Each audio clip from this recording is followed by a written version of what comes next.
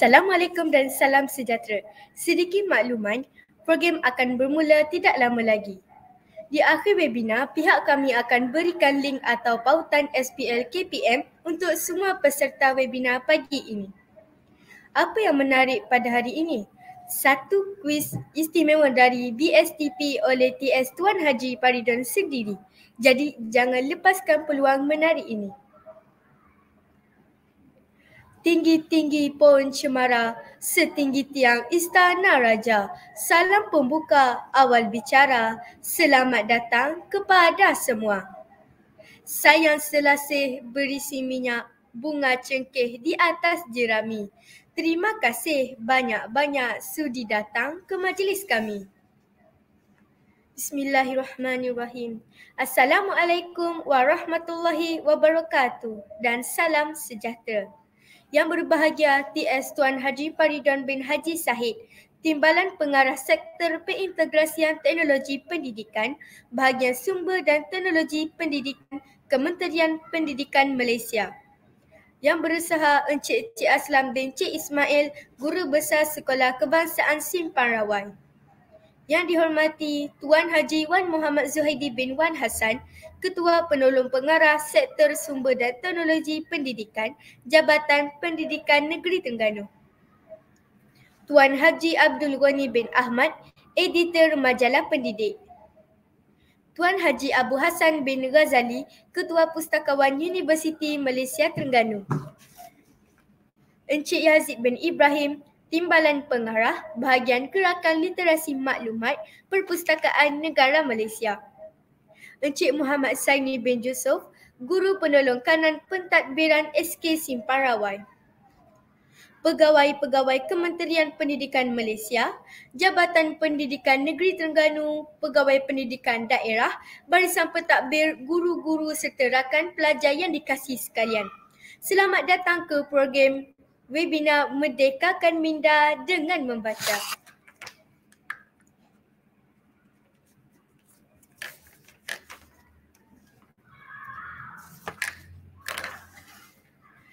Saya Rabiatul Adawiyah binti Ruhaimi, pengurusi Rawai TV selaku pengacara majlis bagi program pada hari ini. Mekar ansana pandang tak jemu, bunganya luruh ke dalam neraga. Buku laksana lautan ilmu, dasarnya penuh mutiara berharga. Insan yang berbudaya membaca merupakan manusia yang berilmu. Minat membaca berkait rapat dengan budaya ilmu kerana minat ini mampu melonjakkan pembangunan dan kemajuan dalam kehidupan masyarakat majmuk Malaysia yang berorientasikan sains dan teknologi. Untuk pengetahuan semua ahli panel dan pendengar, kebitaraan SK Simparawai ialah program nilam. Sekolah telah berjaya melahirkan pelajar sehingga ke peringkat kebangsaan selama tiga tahun berturut-turut di mana pada tahun 2019, Nurin Sakinah binti Muhammad Sabri telah berjaya mendapat naib Johan dalam pertandingan sayembara baca dan kongsi. Pada tahun 2020, Nurin Sakinah juga berjaya mendapat tempat ketiga pertandingan nilam peringkat negeri Terengganu bagi kategori Bahasa Inggeris Sekolah Rendah. Pada tahun 2021, tokoh nilam Sekolah Kebangsaan Simpan Rawat iaitu Nazran Iras bin Muhammad Nasrul telah berjaya menjadi Johan Berkumpulan Bahasa Inggeris Sekolah Rendah peringkat kebangsaan. Pada tahun 2022, calon sekolah ini Nurin Sakinah Nurin Amin Salihah binti Ahmad Saifuddin berjaya mewakili negeri Terengganu untuk pertandingan nilam peringkat kebangsaan kategori Bahasa Inggeris berkumpulan. Bukan hanya murid, SK Simparawai juga melahirkan guru dalam program nilam. Ustazah Syahidah Abdul Manaf berjaya mendapat tempat ketiga dalam pertandingan nilam negeri Terengganu.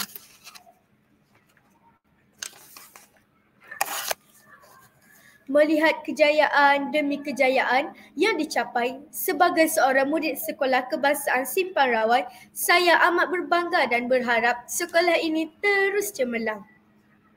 Emas tempawan buat puteri, busana indah buat rupawan. Sudilah tuan tampilkan diri bersama madah kata aluan.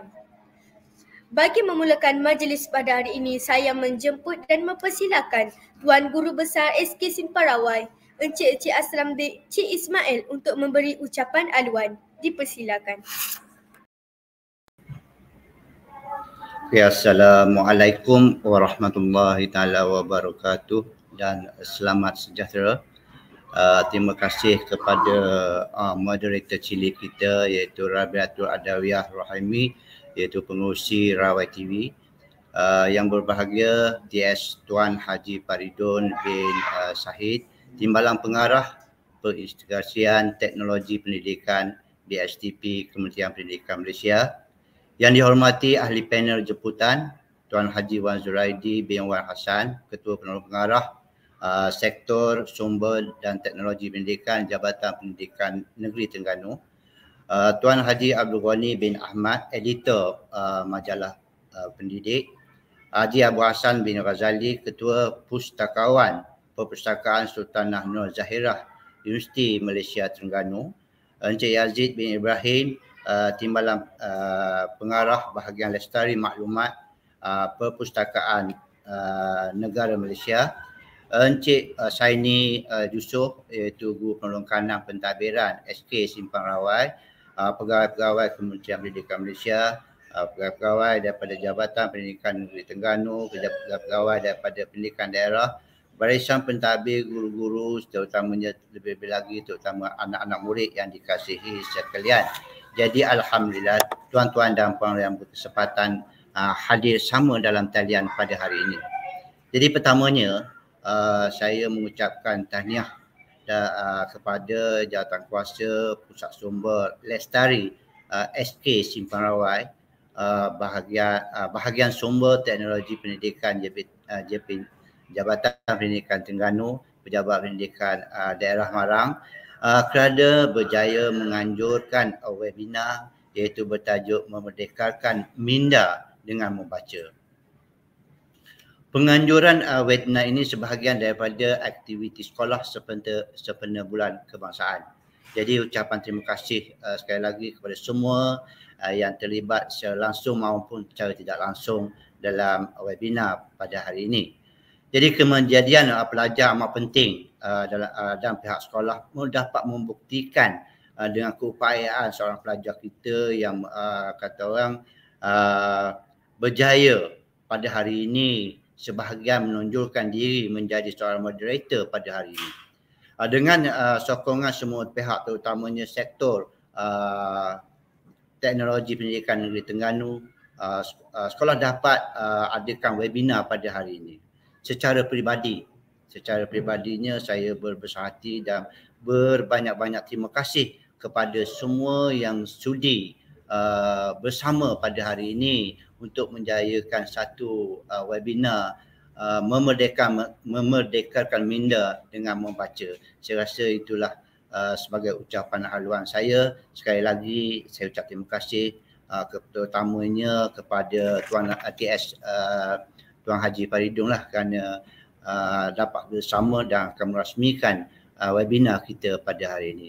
Itu saja daripada saya. Assalamualaikum warahmatullahi taala wabarakatuh. Terima kasih Tuan Guru Besar. Kalau Tuan pikat kenari, jangan patahkan batang jerami. Kepada Tuan sembah diberi, mohon rasmikan majlis kami. Majlis seterusnya mempersilakan yang berbahagia TS Tuan Haji Paridan bin Haji Sahid, Timbalan Pengarah Sektor Pengintegrasian Teknologi Pendidikan untuk menyampaikan ucapan dan seterusnya merasmikan webinar Merdekakan Minda dengan membaca. Dengan segala hormatnya, mempersilakan. Bismillahirrahmanirrahim. Assalamualaikum dan salam sejahtera. Uh, terima kasih kepada adik Rabiatul Adawiyah binti Rohaimi selaku moderator pada pagi ini. Tahniah adik Abia tu. Semoga uh, akan mendapat orang kata cemerlangan pada masa hadapan. Baik, uh, ya terima kasih yang saya uh, Encik Aslan bin Ismail Guru Besar SK Siparawai yang dihormati Tuan Haji Wan Muhammad Zahidi bin Wan Hassan Ketua Penolong Pengarah uh, Sektor Sumber dan Teknologi Pendidikan Jabatan Pendidikan Negeri Terengganu uh, Tuan Haji Abdul Ghani bin Ahmad, editor majalah pendidik. Tuan Haji Hassan bin Ghazali, Ketua Pustakawan Universiti Malaysia Terengganu. Encik Yazid bin Ibrahim, Timbalan Pengarah, Bahagian Gerakan Literasi Maklumat, Perpustakaan Negeri Terengganu, Encik Muhammad Sani bin Yusof, Guru Penolong Kanan Pentadbiran SK Separawai. Seterusnya, pegawai-pegawai Kementerian Pendidikan Malaysia, JPN Negeri Terengganu, PPD, Barisan Pentadbir, guru-guru perpustakaan dan media, guru-guru serta rakan pelajar yang dikasihi sekalian. Alhamdulillah kita dapat bertemu pada pagi ini dalam talian untuk bersama-sama menjayakan program webinar yang bertajuk Memerdekakan Minda dengan Membaca. Tahniah diucapkan kepada SK Separawai kerana dapat uh, merancang dan melaksanakan webinar di peringkat kebangsaan. Dan sebelum ni, terima kasih kerana dijemput juga untuk meresmikan uh, webinar di peringkat antarabangsa. Ya. Baik, semoga uh, majlis ini akan berjalan dengan lancar dan kita semua akan dapat maklumat. Baik, tuan-puan yang saya kasih sekalian. Next. Baik, next. Baik, semua orang tahu ya, pada 31 Ogos kita akan merayakan Hari Kemerdekaan. Agaknya tahun ke berapa ya sejak kita merdeka? Eh, sepuluh. Baik, merupakan tarikh yang bersejarah yang mana kita perlu bersyukur dengan apa yang kita ada pada hari ini dan kita akan terus merdeka dari penjajahan, pemikiran dan juga fizikal. Next. Baik, ini ialah hari yang ke-65 kemerdekaan Malaysia eh, sejak tahun 1957. Baik, next. Baik, sebenarnya apakah arti merdeka atau kebebasan yang sebenarnya? Saya merujuk kepada satu buku Demokrasi in Amerika yang ditulis oleh Alexis de Tocqueville dalam bukunya Demokrasi in America in 1835 dia kata melihat kebebasan yakni kemerdekaan sebagai sesuatu yang boleh dan sering merosakkan. Adakah betul? Baik, next. Jawapannya ada kat situ ya. Baik, dia kata kebebasan sentiasa akan membuka jalan untuk membina semula dan apa yang kita bina dengan kebebasan selalunya akan kekal lama. Baik yang kita ada sekarang ni lah. Dan dia sambung lagi. Dia kata ahlak dan agama adalah prasyarat kepada kebebasan. Uh, belum ya? Okey, kebebasan kerana kebebasan tanpa ahlak adalah tidak bermakna. Okey, kebebasan tanpa ahlak tak bermakna dan ahlak tanpa agama tiada gunanya. Ha, itu yang ditulis oleh Alexis Ditok. Okay, next. Dan disokong oleh pendeta agung kita, Zakbar. Dia kata, konsep merdeka adalah sebagai berubah daripada segala perbuatan dan kepercayaan yang bodoh, mematikan akal dan menyekat kemajuan kepada perbuatan dan kepercayaan yang cerdik, membebaskan fikiran dan menggalakkan kemajuan. Itu daripada pendeta Zabah kita. Okay, next. Baik, kita lihat apa kata Zabah kata. Kemerdekaan yang sebenar adalah kemerdekaan minda dan jiwa yang dipupuk menerusi pembinaan jati diri yang dibentuk oleh empat aspek utama. Baik, sebelum tu nak maklum ya, lepas ni kita ada kuis, ada 10 soalan. Jadi siapa yang berjaya top 3 akan diberikan hadiah. Okay, list dah bagi dah ya. Okay, next. Apakah empat aspek tersebut? Agama. Yang kedua, next. Bahasa. Next. Yang ketiga, pendidikan. Dan yang keempat adalah sikap. Yang empat perkara ini sangat penting. Okay, bagaimana untuk kita membina jati diri kita. Agama, bahasa, pendidikan dan sikap. Baik, next. Hanya dengan agama sahajalah okay, jiwa manusia akan mengecapi kemerdekaan yang sebenarnya. Kita tak mahu menjadi macam negara lain, macam US, Korea sebagainya yang mana membunuh diri menjadi satu budaya mereka antara orang kata pilihan terakhir okay, kat dunia ni.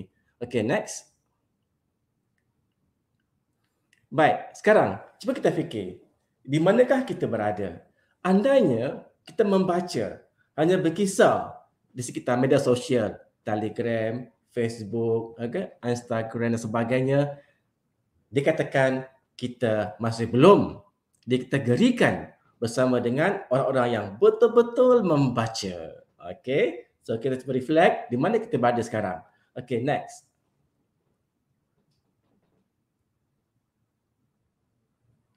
Baik, sekarang kita sampai kepada intipati saya punya ucapan pada pagi ini. Memerdekakan minda melalui membaca. Persoalannya, next. Mengapa? Next. Bagaimana? Next. Dan apakah implikasinya? Baik, perhatikan betul-betul ya. Sebab, sebab slide seterusnya akan memberi jawapan kepada soalan mengapa kita perlu memerdekakan minda melalui membaca. Okay, next. Baik. Mengapa kita perlu memerdekakan minda dengan membaca? Pertama, menimbul ilmu pengetahuan. Kalau dalam masa sekarang, akses kepada ilmu pengetahuan. Kunci kepada kemajuan dan ketemadunan bangsa. Dan membaca memerlukan ketajaman akal pemikiran yakni daya fikir kita. Membaca melibatkan keprihatinan, keprihatinan emosi, daya rasa kita dan apa yang kita baca boleh difahami dan terpahat dalam jiwa kita. Yang seterusnya, kepekaan minda membaca dapat menghasilkan nilai-nilai etika dan murni untuk membentuk warisan dan keutuhan wawasan. Ini mengapa kita perlu memerdekakan minda dengan membaca. Okay, next. Dan mengapa? Okey, saya dapat ada banyak manfaat membaca ni. Pertama, stimulasi mental. Dari kajian, dari kajian yang terbukti, membaca boleh memperlahankan atau mengelakkan penyakit seperti Alzheimer dan juga demensia. Apakah itu Alzheimer dan demensia? Saya katakan kemudian. Dan membaca mengengat, mengekalkan minda untuk kita sentiasa sebut dan aktif dan mengelakkan daripada kehilangan tenaga. Baik kita lihat apakah itu Alzheimer dan demensia. Okay, next. Baik itu dia. Alzheimer adalah penyebab demensia yang paling biasa. Istilah umum untuk kehilangan ingatan dan kebolehan kognitif lain yang cukup serius eh, yang boleh mengganggu kehidupan seharian. Jadi untuk kita kekal aktif, kita kekal cergas, minda kita perlu banyak membaca. Okay, next. Baik, apakah tanda-tanda awal mengalami demensia ni? Cuba kita tengok. Ada tak ada pada kita? Pertama, hilang ingatan. Kesukaran menumpukan perhatian. Sukar untuk kita menjalankan tugas harian. Kita keliru tentang perubahan yang betul semasa kita shopping. Eh? Dan kita bergelut untuk mengikuti perbualan atau mencari kata yang sesuai. Terfikir-fikir kita, apakah yang sesuai? Keliru masa dan tempat dan perubahan mood. Itu tanda-tanda awal mengalami demensia. Saya rasa tak fikir lambat sekarang dah ada ya. Ini mungkin golongan kami lah yang 50 ke atas. Okay, next. Baik, seterusnya. Apakah manfaat membaca antara mengurangkan tekanan? Bahan bacaan yang baik berupaya memindahkan kita ke alam realiti dan mengalihkan tumpuan dari masalah yang dihadapi. Kita dapat berehat dan bertenang seketika andainya kita dapat mendapat buku yang kita suka. Seterusnya, menambah pengetahuan. Semua yang kita baca, kita akan simpan dalam simpan dalam minda kita dan ianya menjadi sesuatu yang berharga yang tak boleh orang ambil kecuali kita kongsikan. Okay, next. Baik kajian mendapati bahawa pada tahun 2009 daripada Universitas Sussex mengatakan sekiranya kita membaca ia dapat mengurangkan tekanan sehingga 68% lebih baik dari kita mendengar muzik sambil minum teh panas. Okey eh? Okey next. Baik, seterusnya dengan membaca kita dapat meningkatkan perbendaan kata. Okey, lebih banyak pendedahan dan perbendaan yang kita kuasai dan kita boleh bijak bercakap tentang sesuatu dengan penuh yakin. Okey sebab kita membaca benda tu dan kita tahu fakta tu. Seterusnya dapat meningkatkan memori. Dari kajian, setiap memori tercipta otak yang akan menghasilkan synapse yakni point of contact between neuron baru dan menguatkan sinus lama dan memberi kestabilan kepada emosi. Yang ini penting kepada murid-murid. So banyakkan membaca, menjawabkan otak kita sentiasa aktif dan menghasilkan neuron yang baru. Seterusnya dengan membaca, kita akan berupaya untuk berfikir secara analitik dan kritikal. Okay, next. Seterusnya, dengan membaca buku, kita akan menumpu perhatian kepadanya dan kita menjadi lebih fokus.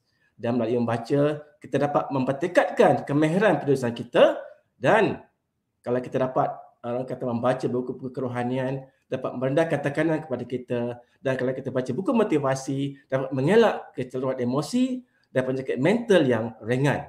Okay, next. Baik, rumusannya kita, kita lihat ya, sejarah tamadun negara-negara dunia pertama membuktikan bahawa kuasa membaca dan menimba ilmu pengetahuan dalam pembentukan tamadun manusia dan peningkatan kualiti hidup masyarakat. Okay, next. Baik, marilah kita semua menerapkan budaya minat membaca dalam kalangan rakyat Malaysia, menggalakkan budaya cintakan ilmu untuk mempertingkatkan status ekonomi kita dan kita dapat merealisasikan impian untuk sebuah Malaysia yang lebih baik ke arah kecemerlangan negara. Kalau kita sebut macam mana sekalipun, kita mesti mencari masa untuk membaca. Jika tidak, anda akan kalah dengan kejahilan yang anda pilih sendiri. Ini pada confuse. Ya? Dan kata pertama menyebut, membaca hari ini adalah pemimpin hari esok adalah sangat tepat untuk menggambarkan tabiat membaca bacaan yang berkualiti dan ilmiah. Okey, seterusnya yang terakhir. Baik, selamat berforum. Semoga kita semua akan mendapat manfaat dari program yang dianjurkan. Dengan lafaz bismillahirrahmanirrahim, saya dengan ini meresmikan webinar yang bertajuk Memerdekakan Minda melalui membaca. Sekian, terima kasih.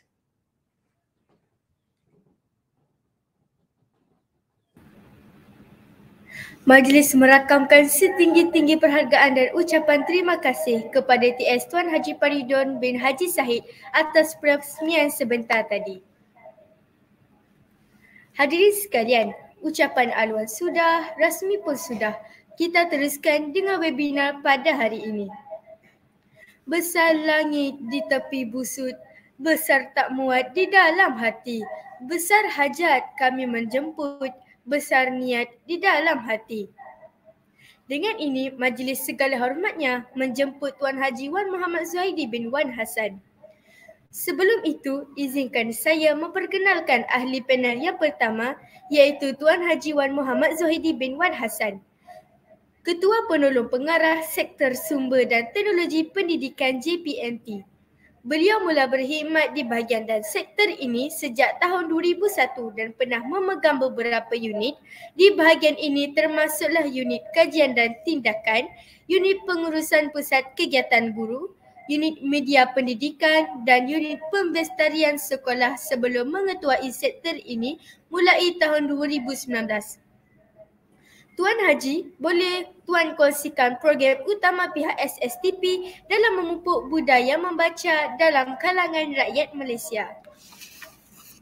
Terima kasih uh, Rabiatul Adawiyah selaku pengacara pada hari ini yang berusaha yang berbahagia TS Tuan Haji Paridon Timbalan Pengarah uh, Bahagian Sumber dan Teknologi Pendidikan Kementerian Pendidikan Malaysia uh, Cikgu Cik Aslan selaku guru besar uh, SK Simparawang uh, SK Simparawai Marang uh, yang saya hormati rakan-rakan daripada ahli-ahli panel yang terkemuka pada hari ini. Pertamanya saya ucapkan uh, jutaan terima kasih kepada pihak uh, PSS Lestari SK Simparawai yang telah sudi untuk menjemput saya bersama-sama sebaris dengan ahli-ahli panel yang sangat hebat uh, dan tahniah atas inisiatif yang telah uh, yang hebat yang telah dilaksanakan pada pagi ini. Baik, uh, berbalik kepada persoalan berkaitan dengan program uh, dalam memupuk budaya uh, membaca dalam kalangan rakyat Malaysia yang telah dilaksanakan di bawah uh, sektor saya lah, sektor sumber uh, dan teknologi pendidikan. maka dia akan berbalik kepada kalau merujuk kepada kalangan rakyat Malaysia kita akan melihat uh, berapa apakah sasaran yang yang dibawa oleh uh, SSTP untuk makluman sektor sumber dan teknologi pendidikan kita bernaung di bawah uh, Jabatan Pendidikan Negeri tetapi kita membawa fungsi yang besar daripada uh, bahagian sumber dan teknologi pendidikan uh, KPM itu sendiri. Dan untuk makluman dari segi sejarah penubuhan uh, uh, SSTP yang dulunya dikenali sebagai pusat sumber pendidikan negeri telah bermula sebenarnya sejak awal 80-an pada tahun 80-an dan fokus utama ketika itu ialah bagaimana kita kita cuba memperkasakan uh, pengurusan dalam pusat sumber sekolah. Uh, dan kita faham apabila pusat sumber sekolah uh, di, di, di, diwujudkan uh, dia bermatlamat untuk memastikan bahawa uh, untuk menyediakan kemudahan dan koleksi bahan-bahan sumber yang pastinya akan menyokong kepada uh, proses PDP itu sendiri dan juga untuk membentuk masyarakat yang mempunyai budaya, ilmu, gemar membaca, mempunyai kemahiran belajar sepanjang hayat. Itu antara yang yang kita fokus apabila pusat sumber itu menjadi fokus kepada kita yang ada kaitannya dengan kalangan rakyat Malaysia. Dan untuk makluman uh, di peringkat KPM uh, kalau kita lihat kita di seluruh negara kita ada 16 uh, sektor SSTP yang membawa misi yang sama dan keseluruhan uh, untuk pastikan 10,000 sekolah itu berfungsi akan pusat sumbernya.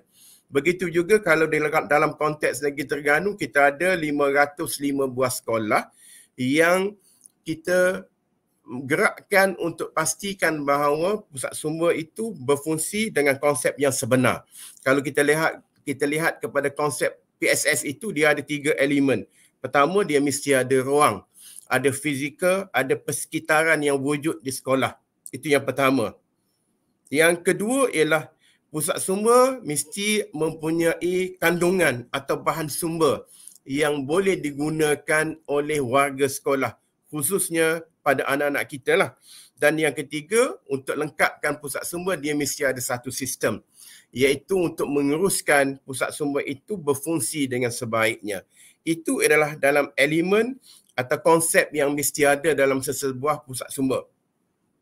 Dan untuk makluman, uh, sekitar tahun 2017 kita telah uh, PSS telah uh, berubah sebenarnya kepada bagaimana kita cuba serapkan pusat sumber dalam abad yang ke-21 konsepnya untuk pastikan bahawa elemen-elemen berkaitan dengan teknologi pedagogi yang lebih lebih lebih berkesan dapat kita serapkan dalam PSS itu sendiri. Uh, dan suasana yang kondusif yang yang kita minta sekolah adakan sebenarnya dia berkait supaya dapat kita siapkan suatu suatu persekitar yang kondusif, kondusif untuk pastikan bahawa amalan membaca kalangan anak-anak kita tu dapat dibuat. Sebab fokus kepada kalau di sekolah kita di, di Terengganu kita ada hampir 250 ribu pelajar daripada uh, sekolah rendah sampailah kepada tingkatan 6 di sekolah menengah yang mereka ini berada dalam kelompok untuk pastikan bahawa kita nak pastikan bahawa budaya membaca berlaku dalam kalangan anak-anak kita. Dan tentulah kalau seluruh negara kita sasarkan uh, pelajar-pelajar kita seluruh negara kita ada lebih kurang 5 juta. 5 juta pelajar yang memberi um, peratus kalangan rakyat Malaysia. Maknanya sumbangan kepada 15-16% daripada rakyat Malaysia adalah datang daripada generasi muda anak-anak kita di sekolah. Sebab itulah penting gerakan-gerakan uh, yang dibuat khususnya di di sektor ini untuk pastikan bahawa anak-anak kita dapat meneruskan uh, budaya membaca. Kemudian untuk makluman, satu perkara satu program yang yang penting juga hasil daripada uh, pusat sumber sekolah ialah berlakunya ialah gerakan program nilam. Program nilam telah bermula uh, sejak tahun 1999 dan antara yang kita lihat ialah bagaimana pentingnya untuk kita membentuk uh, budaya amalan membaca dalam kalangan anak-anak kita. Ada beberapa kajian yang dibuat sebelum itu yang berkaitan dengan tahap pembacaan uh, dalam kalangan masyarakat Malaysia di mana kita melihat bahawa uh, purata membaca dalam kalangan masyarakat kita adalah rendah. Adalah adalah rendah. Dan untuk kita jadikan rakyat kita berilmu jadikan rakyat kita berdepan dengan negara maju maka kita perlu kepada rakyat yang ada nilai membaca suatu budaya yang hebat.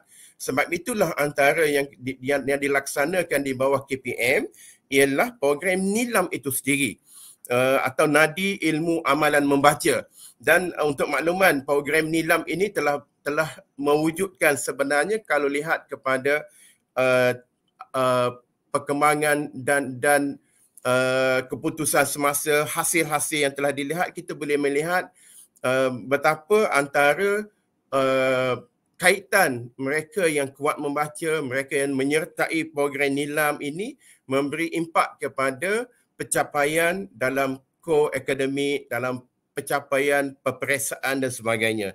Jadi menunjukkan bahawa amalan membaca ini sangat sangat diperlukan dalam kalangan rakyat kita lah khususnya dalam raga uh, anak-anak kita di sekolah. Kemudian selain daripada itu apa yang kita laksanakan juga bahawa wujudnya aktiviti-aktiviti sokongan yang lain yang memberi uh, kebolehan, kelebihan kepada anak-anak kita untuk berkomunikasi, berkolaboratif, lebih kreatifnya. Contohnya ialah dalam aktiviti yang berkaitan dengan uh, literasi maklumat. Hari ini telah wujud umpamanya TV PSS. Uh, TV PSS di mana uh, moderator kita Rabiatul Adawiah juga merupakan pengurusi Rawai TV yang lahir daripada perancangan yang telah uh, kita buat uh, uh, untuk untuk beberapa tahun kebelakangan ini untuk mewujudkan TV PSS. Kita ada ikon dia dan sebagainya untuk pastikan berlaku kemajadian murid dalam kalangan anak-anak kita. Hasil daripada pupukan uh, bermula daripada pusat sumber sekolah dan mewujudkan program nilam dan juga aktiviti-aktiviti sokongan justru itu saya saya melihat ada beberapa perkara yang yang di pihak sekolah mesti lihat secara positif. Di mana uh, kenapa kita perlu wujudkan suatu persekitaran yang yang kondusif uh, dalam dalam persekitaran perpustakaan kita uh, pusat sumber kita. Uh, semua guru melihat bahawa, perlu melihat bahawa kita perlu mewujudkan suatu environment yang menyokong kepada gerakan membaca dan juga gerakan aktiviti nilam yang yang dilaksanakan di peringkat sekolah kerana ia memberi uh, dia dia memberi impak kepada proses persekitaran pembacaan anak-anak kita. Untuk pupuk budaya membaca dalam kalangan anak-anak kita uh, daripada generasi awal. Sebab penting pada kita untuk kita melahirkan satu masa nanti ialah kalangan rakyat kita, masyarakat kita yang budaya yang membaca telah jadi sebati dalam diri mereka. Nah, kita ada orang compare dengan beberapa negara Jepun dan sebagainya yang rakyat mereka tak boleh lengkang daripada buku umpamanya. Sebenarnya sebenarnya dia dia dia hubung kait antara rakyat yang membaca, yang kuat membaca dengan rakyat yang maju ke depan. Sebab mereka yang ada ilmu itu adalah mereka yang kita akan lahirkan masyarakat yang lebih lebih hebat pada masa hadapan. So itulah antara yang saya dapat simpulkan ialah antara program yang kita buat mestilah di peringkat SSTP ialah pertama ialah bagaimana kita um, melalui program-program yang diadakan melalui pusat sumber sekolah pertandingannya, perinterafannya dan sebagainya. Di peringkat negeri Terengganu sekalipun, kita memang sangat menggalakkan uh, sekolah menyediakan persekitaran yang kondusif menyertai pertandingan-pertandingan pertandingan supaya uh, setiap uh, pusat sumber dapat kita upgradekan kepada suatu tahap yang disukai, uh, diminati uh, oleh anak-anak kita untuk bersama. Dan Uh, begitu juga dengan program uh, sampingan yang sangat besar umpamanya program nilam itu sendiri yang memberi suatu impak yang besar kepada budaya dan amalan membaca dalam kalangan anak-anak kita. So itu antara perkara yang telah dilaksanakan uh, di peringkat uh, sektor sumber dan teknologi pendidikan uh, di bawah Jabatan Pendidikan Negeri Terengganu. Saya kembali kepada uh, anak-anak saya Rabiatul Adawiah untuk pusingan pertama ni. Terima kasih.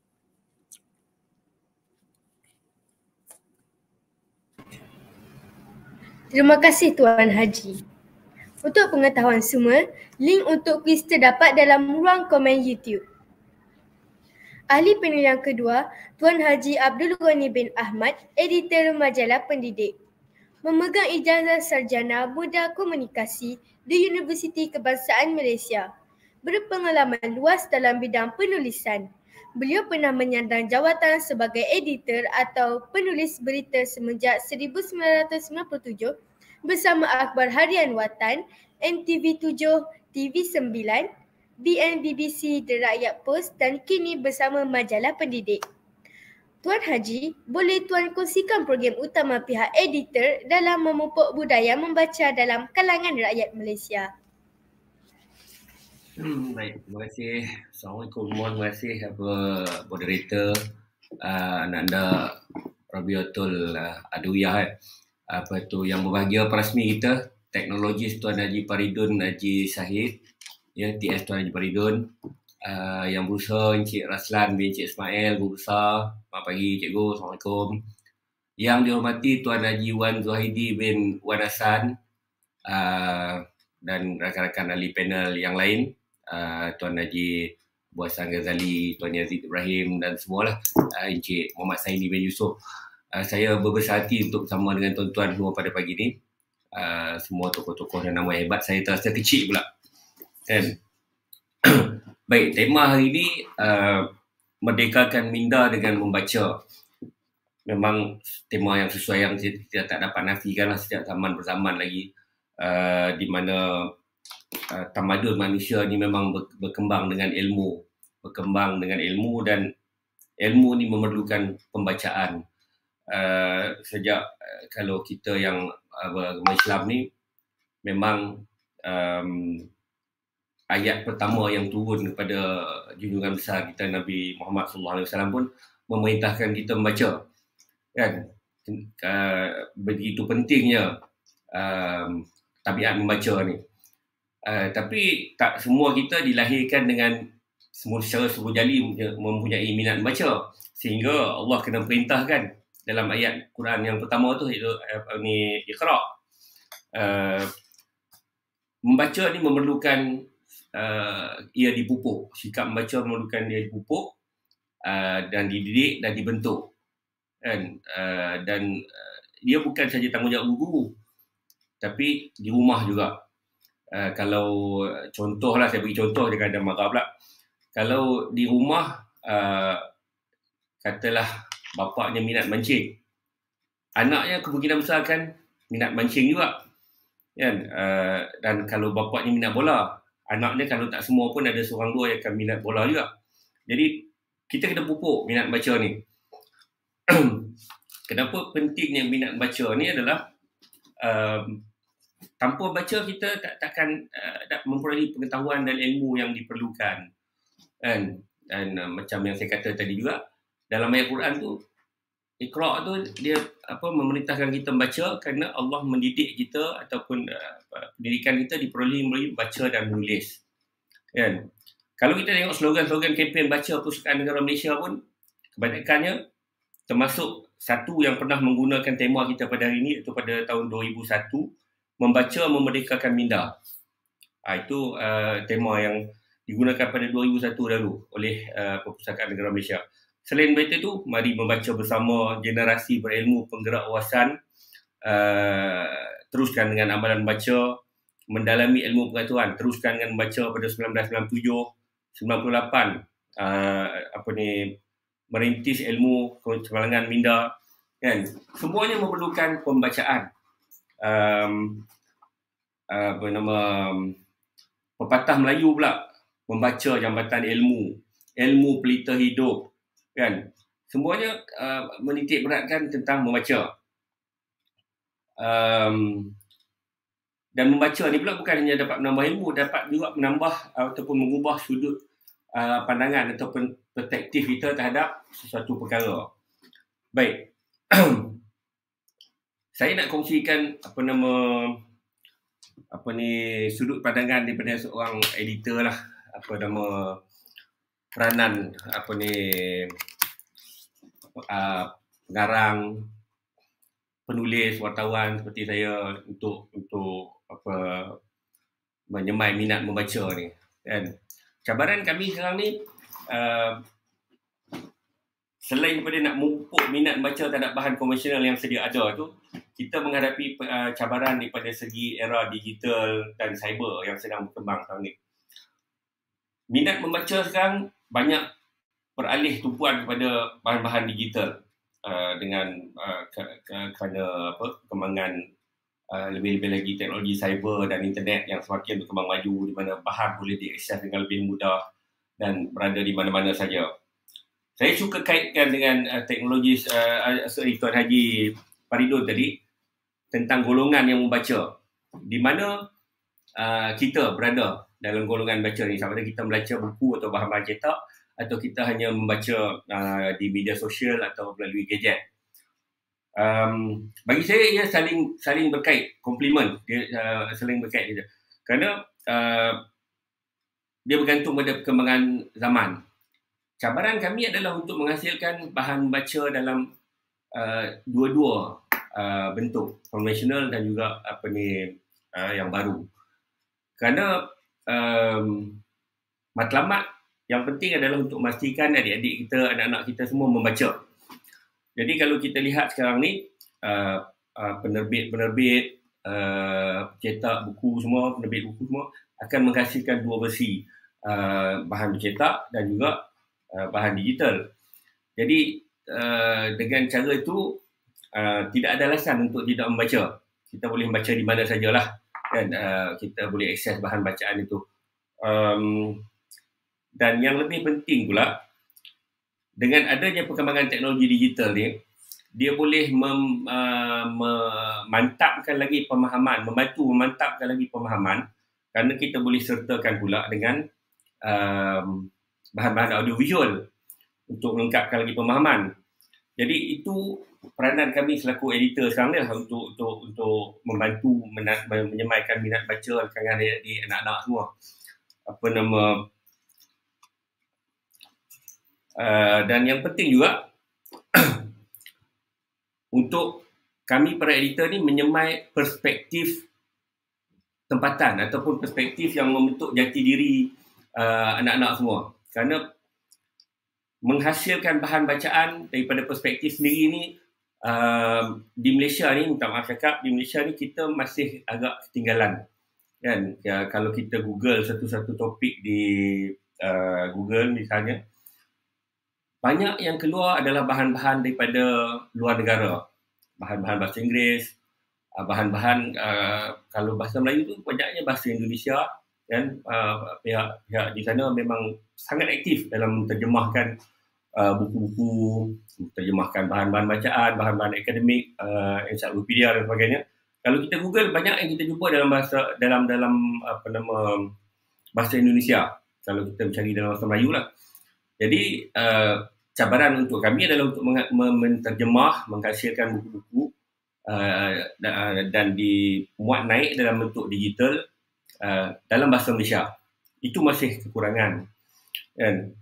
Jadi um, apa nama bagi kami itu adalah cabaran untuk memerdekakan diri kami pula memerdekakan diri kami sendiri jadi cabaran ni membabitkan semua peringkat kan um, bukan hanya murid-murid saja kita tak boleh juga nak kata minat baca rendah kerana uh, uh, dengan menyalahkan suatu pihak tak tapi di pihak kami sendiri penerbit pun ada kelemahan yang kami perlu perbaiki uh, untuk meningkatkan minat baca di kalangan apa nama anak-anak kita. uh, bagaimanapun uh, data atau statistik dari pembacaan digital ni khususnya menunjukkan peningkatan itu ada sesuatu yang positif ya. Uh, data contohlah saya ambil data daripada pinjaman bahan data pinjaman bahan bacaan apa U Pustaka Perpustakaan Negara Malaysia yang menunjukkan peningkatan dua kali ganda pada tahun 2020 iaitu sebanyak 367,306 pinjaman berbanding tahun sebelumnya 2019. Ini ada kaitan dengan uh, uh, wabak COVID-19 dan uh, Perintah Kawalan Pergerakan dahulu di mana pergerakan kita dibataskan tetapi data Perpustakaan Negara menunjukkan pinjaman secara atas talian bahan-bahan digital seperti uh, e-buku, uh, e-majalah dan sebagainya meningkat. Dan ini bermakna kempen yang dilancarkan oleh apa nama Perpustakaan Negara Malaysia bersangkutan dengan uh, Perintah Kawalan Pergerakan itu iaitu kempen sila duduk di rumah dan baca buku menunjukkan kejayaan. Jadi di situ ada uh, ada perkembangan positif. Jadi apa nama ketika PKP. Jadi uh, hakikatnya sekarang banyak bahan tersedia secara digital kan dan boleh diakses di dalam kereta, di dalam bas, di dalam uh, komuter, apa, LRT, MRT dan sebagainya untuk adik-adik akses. Jadi tak perlu lagi kalau zaman kita, kita kami dulu nak bawa surat khabar kepit di dalam di celah ketiak bawa buku bawa majalah baca dalam bas kereta api dan sebagainya. Sekarang di gadget dan handphone boleh diakses bahan-bahan bacaan itu. Uh, cuma cabarannya pula sekarang adalah dalam tu juga ada uh, bahan-bahan lain seperti TikTok, uh, YouTube ada yang positif ada yang negatifnya uh, dan Uh, apa ni uh, apa ni lain-lain bahan yang menarik ke arah hiburan.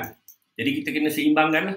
Uh, kerana di situ ada uh, kita kena bijak memilih bahan mana yang kita nak rujuk. Kerana sebenarnya bahan-bahan bacaan pun dah dah banyak tersedia uh, yang yang ilmu. Tak salah berhibur tapi kena seimbangkan. Kan? Uh, supaya kita tidak terus terbelenggu lah minda kita dengan asyik berhibur saja sehingga kita tak tahu apa nama perkembangan semasa, tak tahu perkembangan di tanah air sendiri dan um, dan juga apa nama terlalu lalai dengan benda-benda yang yang kurang berfaedah kan um, dan saya percaya dalam da, da, da, da, da, apa dari perspektif uh, Tuan Haji Wan Zaidi juga tadi. Contohnya bila beliau mengatakan uh, pihaknya sentiasa nak mengupgrade, nak menaik taraf pusat-pusat sumber. kan Ini kita tak nafikan juga memainkan peranan yang penting kerana kalau dulu bahan bacaan hanya bercetak, uh, ada uh, pamphlet, flyers dan sebagainya, sekarang dia dah berkembang dengan penggunaan OHP, daripada OHP dia berkembang kepada multimedia dengan penggunaan CD-ROM, uh, apa nama dan sampai sekarang lah kita boleh berseminar secara online seperti sekarang ni streaming dan sebagainya. Jadi perkara tu pun penting juga untuk kita mening- uh, naik taraf selari dengan uh, perkembangan semasa dan untuk apa uh, tidak ketinggalan. Jadi saya rasa uh, uh, saya berhenti di sini dulu untuk kita sambung lagi selepas ni balik kepada adik Radhi Batul, anak anda Radhi Batul.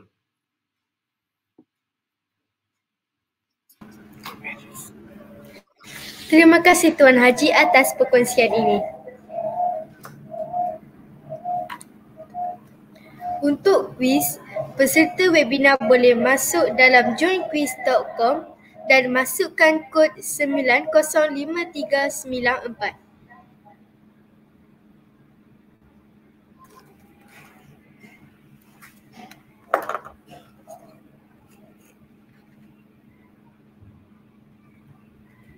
ingin rasa memakan kari, kari cendawan, batang keladi.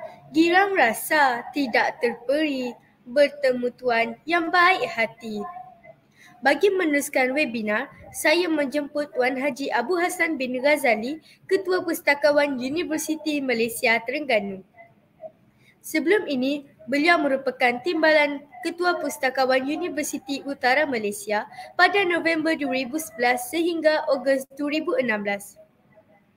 Selepas itu, beliau memegang jawatan Timbalan Ketua Pustakawan Kanan Universiti Malaysia Terengganu sehingga Oktober 2017. Tuan Haji, boleh Tuan kongsikan program utama pihak Universiti Malaysia Terengganu dalam memupuk budaya membaca dalam kalangan rakyat Malaysia?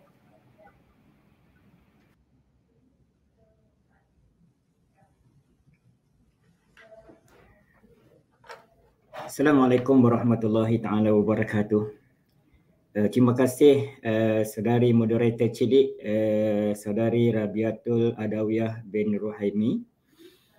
Uh, yang berbahagia TS Tuan Haji Paridun bin Haji Sahid Timbalan Pengarah Sektor Pengintegrasian Teknologi Pendidikan Bahagian Sumber dan Teknologi Pendidikan Kementerian Pendidikan Malaysia yang telah merasmikan program kita seperti tadi uh, yang berusaha uh, Encik Cik Aslan bin uh, Cik Ismail, Guru Besar SK Simpang Rawai.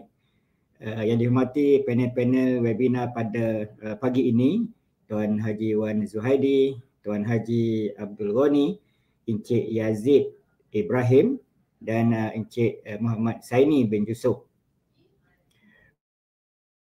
pegawai Kementerian Pendidikan Malaysia, Jabatan Pendidikan Negeri Terengganu, pegawai pendidikan daerah, barisan pentadbir guru-guru, pustaka dan media, guru-guru serta para pelajar yang dikasihi sekalian. Uh, pertama sekali, Alhamdulillah uh, bersyukur kita kepada Allah Subhanahu Wa Taala uh, kerana dengan izinnya dapat kita bertemu pada pagi ini. Moga-moga program uh, yang yang tidak berapa lama, mungkin dua jam, mendapat keberkatan Allah Subhanahu Wa Taala. Dan uh, saya juga uh, mengucapkan jutaan terima kasih kepada uh, pihak uh, Urus Tio yang telah menjemput saya untuk uh, berkongsi sedikit ilmu dan pengalaman uh, bagi program pada pagi ini. Dan uh, di samping itu juga saya mengucapkan uh, tahniah lah dan syabas kepada uh, Cikgu Cik Aslan uh, dan seluruh warga SKC Parawai lah kerana uh, berjaya mengadakan program pada pagi ini. Sebelum ini uh, program yang di peringkat international juga uh, melibatkan PSNZ. Uh, Alhamdulillah dan tahniah kerana program tersebut uh, berjaya dilaksanakan. Dan uh, bagi saya uh, program ini amat uh, sesuai dan bertepatan uh, sempena sambutan kemerdek- kemerdekaan uh, kali yang ke-65 dan uh, insyaAllah hari kemerdekaan yang akan kita sambut 31 Ogos uh, dua hari lagi uh, dengan tema keluarga Malaysia teguh bersama. Tuan-tuan dan puan yang saya hormati sekalian, uh, merujuk kepada persoalan uh, daripada moderator kita seperti tadi, pertamanya ingin uh, uh, tadi kita telah pun mendengar uh, uh, dua orang panel yang hebat-hebat dan perasmian oleh uh, Tuan Haji Paridun pun banyak uh, uh, dikupaskan berkenaan dengan tajuk yang kita akan bincangkan uh, pada pagi ini. Dan uh, uh, cumanya bila uh, saya mewakili uh, UMT dan PSNZ, uh, skop perkongsian saya adalah uh, skop saya itu menjurus kepada warga UMT Eh, dan juga uh, komuniti sekitar dan uh, sekolah-sekolah di negeri Terengganu. Uh, Alhamdulillah uh, UMT melalui PSNZ uh, sebenarnya telah sekian lama bersama-sama dengan uh, berkolaborasi dengan uh, JPN melalui sektor sumber dan teknologi pendidikan kalau yang sebelum ini dipanggil BTPNT dan uh, sekian lama, dah lama. Dan saya sendiri terlibat bermula dari tahun 2010 pada ketika itu BTPNT diketuai oleh Tuan Haji Azman. Uh, dan selepas itu Tuan Haji Alias dan yang terkininya Tuan Haji uh, Wan Muhammad Zuhadi dan Alhamdulillah banyak program-program yang kita dapat uh, berkolaborasi bersama dan berjaya melaksanakan program-program khususnya yang berkaitan dengan pusat sumber sekolah. Dan uh, untuk makluman semua juga, uh, UMT melalui PSNZ. Uh, sekian nama memang kita uh, setiap tahun kita memperuntukkan sedikit uh, uh, kewangan uh, untuk aktiviti-aktiviti uh, USR, University Social Responsibility. Uh, dan kita PSNZ sudah semestinya sebagai sebuah pusat uh, perpustakaan universiti jadi kita fokuskan kepada pusat sumber sekolah uh, di sekitar UMT dan di dalam negeri Terengganu. Dan uh, dan uh, uh, banyak program-program yang kita laksanakan uh, khususnya berkaitan dengan membaca dan seumpamanya. Dan uh, di samping itu juga uh, peranan kita juga adalah untuk membantu dari segi sebagai contohnya uh, program-program kita itu seperti uh, uh, kita uh, adakan kursus uh, pengurusan pusat sumber sekolah uh, bersama dengan uh, uh, sektor sumber dan teknologi pendidikan uh, yang melibatkan guru-guru pusat sumber dan juga uh, pelajar-pelajar uh, pengawas pusat sumber. Ah, okay. Dan ada ketika kita uh, kebanyakannya kita adakan kursus di di di PSNZ UMT sendiri dan uh, ataupun kita pergi ke sekolah-sekolah untuk kita membantu uh, uh, uh, macam mana pengurusan uh, pusat sumber dari segi pengkatalogan, susur atur dan seumpamanya. Dan uh, di samping itu juga kita membuatkan kursus-kursus untuk pengawas pusat sumber supaya uh, uh, pelajar, anak-anak pelajar yang dilantik sebagai pengawas pusat sumber, dia tahu peranan dia macam mana dan dapat menarik uh, uh, rakan-rakan pelajar untuk datang ke pusat sumber untuk membaca ataupun manfaatkan uh, sumber-sumber rujukan bacaan yang ada di pusat sumber. Jadi uh, uh, itu secara umumnya. Dan uh, saya ingin berkongsi uh, di antara aktiviti-aktiviti yang uh, dibuat di uh, oleh PSNZ dalam uh, memupuk budaya membaca ni di kalangan warga UMT dan uh, komuniti dan juga uh, sekolah-sekolah di Terengganu di antaranya macam uh, setiap tahun kita ada uh, apa yang disebut sebagai hari terbuka PSNZ uh, ataupun dipanggil PSNZ Open Day POD setiap tahun. Dan uh, kebiasaannya kita adakan pada bulan Oktober ataupun November. Dan insya-Allah pada tahun ini uh, akan diadakan bermula pada 1 hingga 3 November. dan uh, di antara aktiviti yang kita uh, uh, adakan uh, semasa PSNZ Open Day ini adalah seperti aktiviti jualan buku oleh pembekal dan uh, uh, maksudnya uh, buku-buku dari segi uh, peringkat uh, universiti dan juga peringkat sekolah. Dan kita juga menjemput uh, komuniti untuk datang uh, uh, untuk uh, membuat pembelian. Dan kita adakan juga di antaranya adalah diskusi ilmiah uh, bedah buku okey bedah buku dan uh, pertandingan ulasan buku melibatkan staf dan pelajar universiti. Pertandingan bercerita melibatkan uh, kanak-kanak prasekolah sekitar UMT. Dan uh, um, pertandingan uh, deklamasi sajak. Okey, kita buka juga kepada uh, uh, pelajar-pelajar sekolah. Dan dalam masa yang sama juga kita uh, uh, uh, berikan anugerah tahunan peminjam terbanyak Ah, khususnya kepada pelajar dan juga staf. Maksudnya untuk kita nak menggalakkan supaya uh, warga UMT ini meminjam buku dan membaca. Okey. Itu yang di antara uh, program tahunan yang kita buat dan uh, seterusnya saya nak berkongsi lagi secara ringkasnya uh, di antara perkara-perkara yang kita buat, aktiviti yang kita buat uh, uh, bagi memupuk budaya membaca ini uh, kita buat uh, yang sebelum ini adalah bedah buku orang Terengganu. Uh, yang mana kita panggil sendiri penyunting buku Profesor Datuk Muhammad Abu Bakar uh, serta Muhammad Nasir bin Haji Hamzah okay, datang untuk mengulas buku. kita uh, di peringkat fakulti kita wujudkan uh, sudut membaca pusat pengajian teknologi makanan iaitu uh, apa ni di fakulti. Dan uh, kita adakan juga uh, uh, macam uh, program lead reach maksudnya PPSA week. Maksudnya program yang dibuat di fakulti bersama dengan fakulti untuk menggalakkan para pelajar universiti UMT untuk uh, membaca. Dan kita ada buat sebelum ini juga macam deklamasi puisi sastrawan negara. Okey, yang mana melibatkan uh, Datuk Dr. Zurana Zurina uh, Hassan. Okey.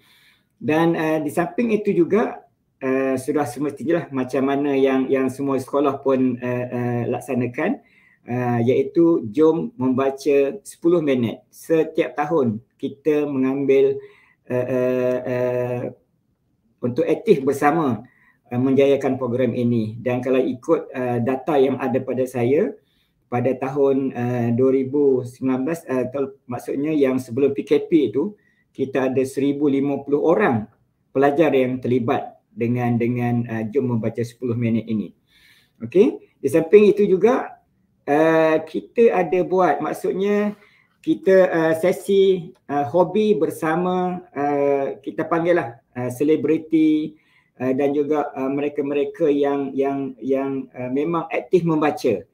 Uh, jadi berkongsi bersama dengan pelajar supaya dengan pengalaman uh, selebriti dan juga mereka-mereka yang banyak menulis ini dapat uh, uh, memberikan uh, uh, kepen, uh, kesedaran kepada pelajar UMT khususnya.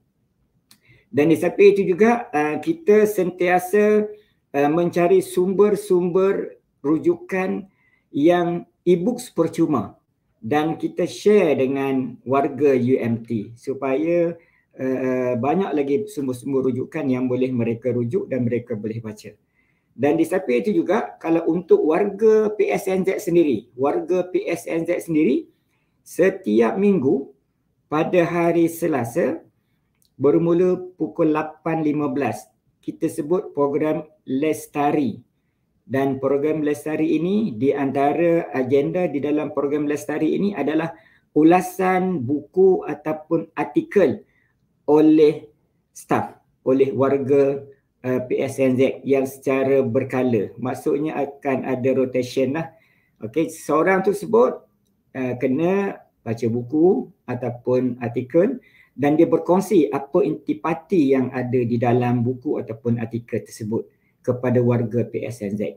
Okay. Dan uh, uh, dan uh, banyak lagi lah program-program yang yang kita buat uh, uh, seperti maksudnya kita bisa buat uh, bersama dengan Datuk Seri Zaini Ujang uh, seorang yang yang uh, uh, para uh, academician yang terlalu uh, yang hebat lah uh, di usia muda uh, dah mendapat profesor di usia muda menjadi naib chancellor UTM uh, berkongsi bagaimanakah uh, budaya membaca yang yang beliau uh, amalkan uh, sehingga berjaya. Dan di samping itu juga uh, kita buat juga dipanggil sebagai uh, projek wakaf buku. Maksudnya kita uh, memilih ataupun sebab uh, buku-buku yang ada di perpustakaan yang kita dapat sumbangan daripada pembekal ataupun warga UMT yang memberikan sumbangan kepada PSNZ dan kita rasa buku tersebut sesuai untuk diletakkan di pusat sumber sekolah dan kita uh, berikan kepada sekolah. Yang terkininya contoh macam di uh, PSS uh, SK SMK uh, Batu Rakit. Dan yang terkini lagi pada baru-baru ini uh, kita pergi ke uh, menghantar ke sekolah yang di, uh, terkesan dengan banjir di Hulu Terengganu iaitu uh, SK Lubuk Priok dan SK Betung.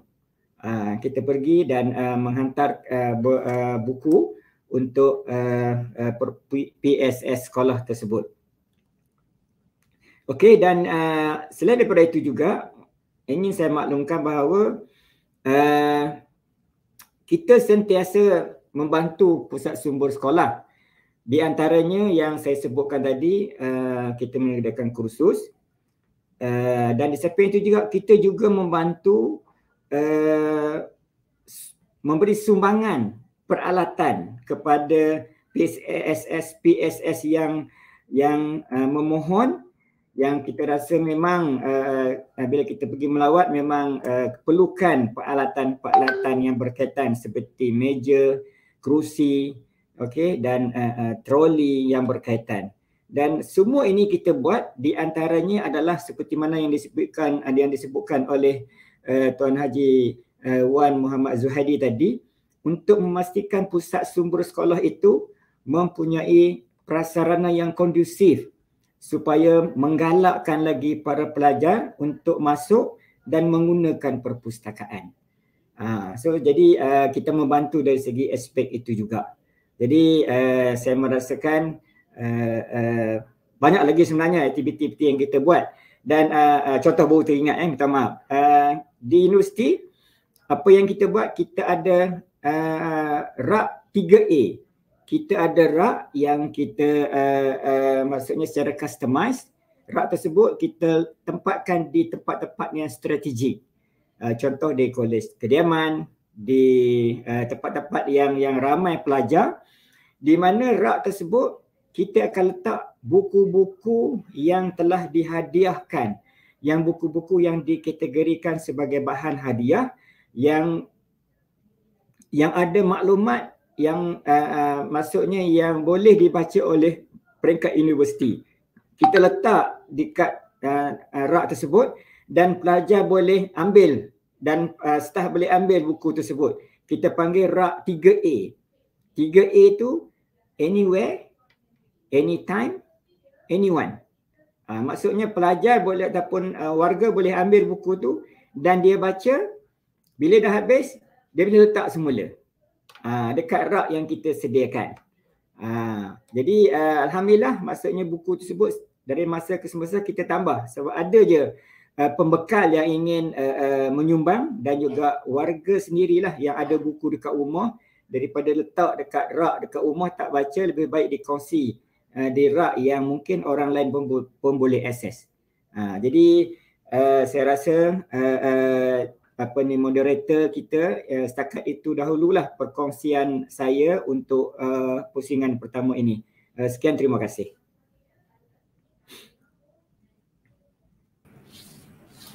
Terima kasih Tuan Haji. Pergi melaka rumah Alia, lamanya sudah tidak bertemu. Membaca itu amalan mulia, banyak membaca, banyaklah ilmu.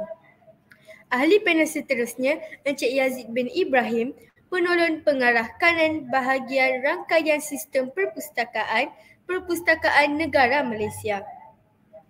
Beliau merupakan penceramah literasi maklumat dan media serta U Pustaka.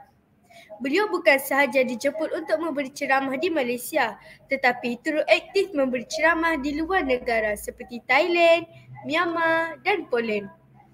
Boleh Tuan kongsikan program utama pihak Perpustakaan Negara Malaysia dalam memupuk budaya membaca dalam kalangan rakyat Malaysia? Boleh adik, ayatlah betul ada tak ada masalah. Bismillahirrahmanirrahim. Assalamualaikum warahmatullahi wabarakatuh.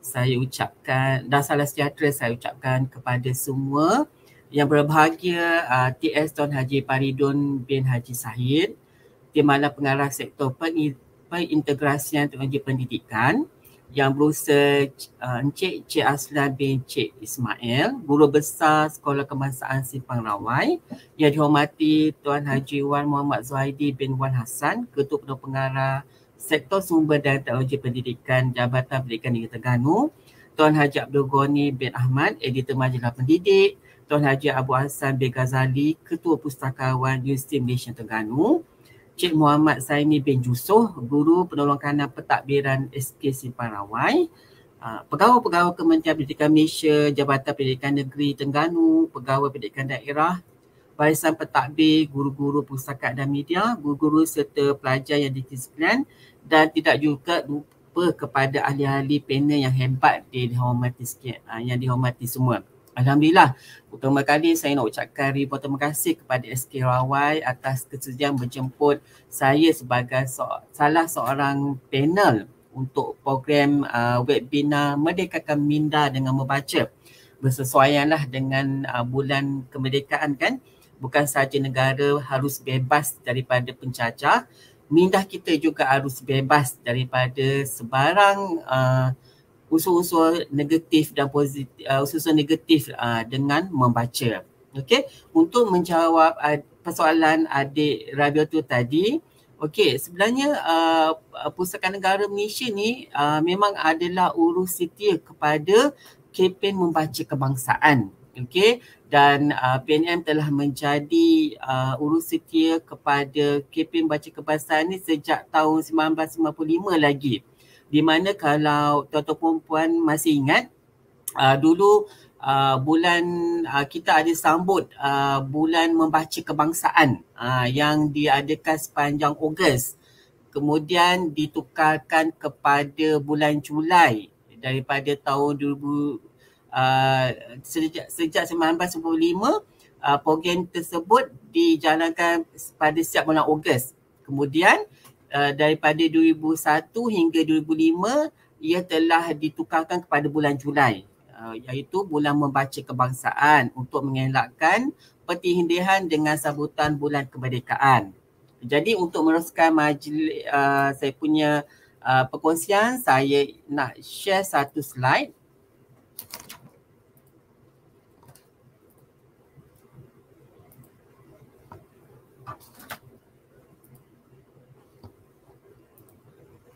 Okay.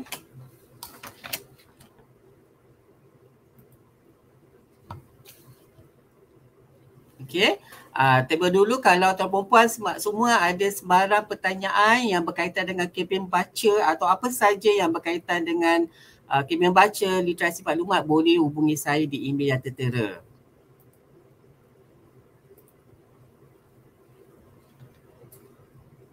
Okay. Ah okey uh, sebab saya sambut tadi okey uh, sejak 2001 hingga 2005 uh, kempen baca tersebut telah dijalankan pada bulan Julai untuk mengelakkan pertindihan uh, dengan sambutan bulan kemerdekaan. Uh, jadi uh, sepanjang kempen bulan baca tu banyaklah apa tu slogan-slogan yang telah dibuat oleh PNM. Okey, dah bermula pada 1995, slogan adalah mari membaca bersama. Ha, kemudian uh, 2005 hingga 2001 uh, kami uh, Pusaka Negara masih menggunakan uh, slogan yang sama iaitu bangsa membaca, bangsa berjaya.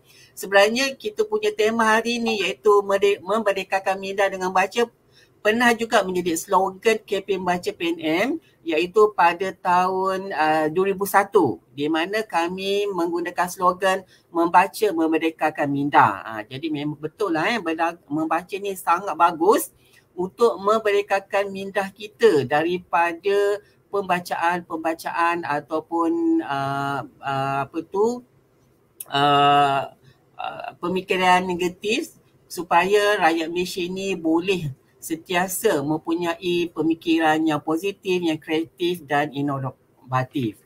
Uh, sebenarnya tuan-tuan perempuan, uh, uh PNM melalui slogan bangsa membaca bangsa berjaya ini bertujuan untuk melahirkan masyarakat berilmu dan bertaraf dunia. Itu yang kita nak masyarakat Malaysia lahir hasil daripada kempen membaca yang dijalankan oleh Pusaka Negara Malaysia.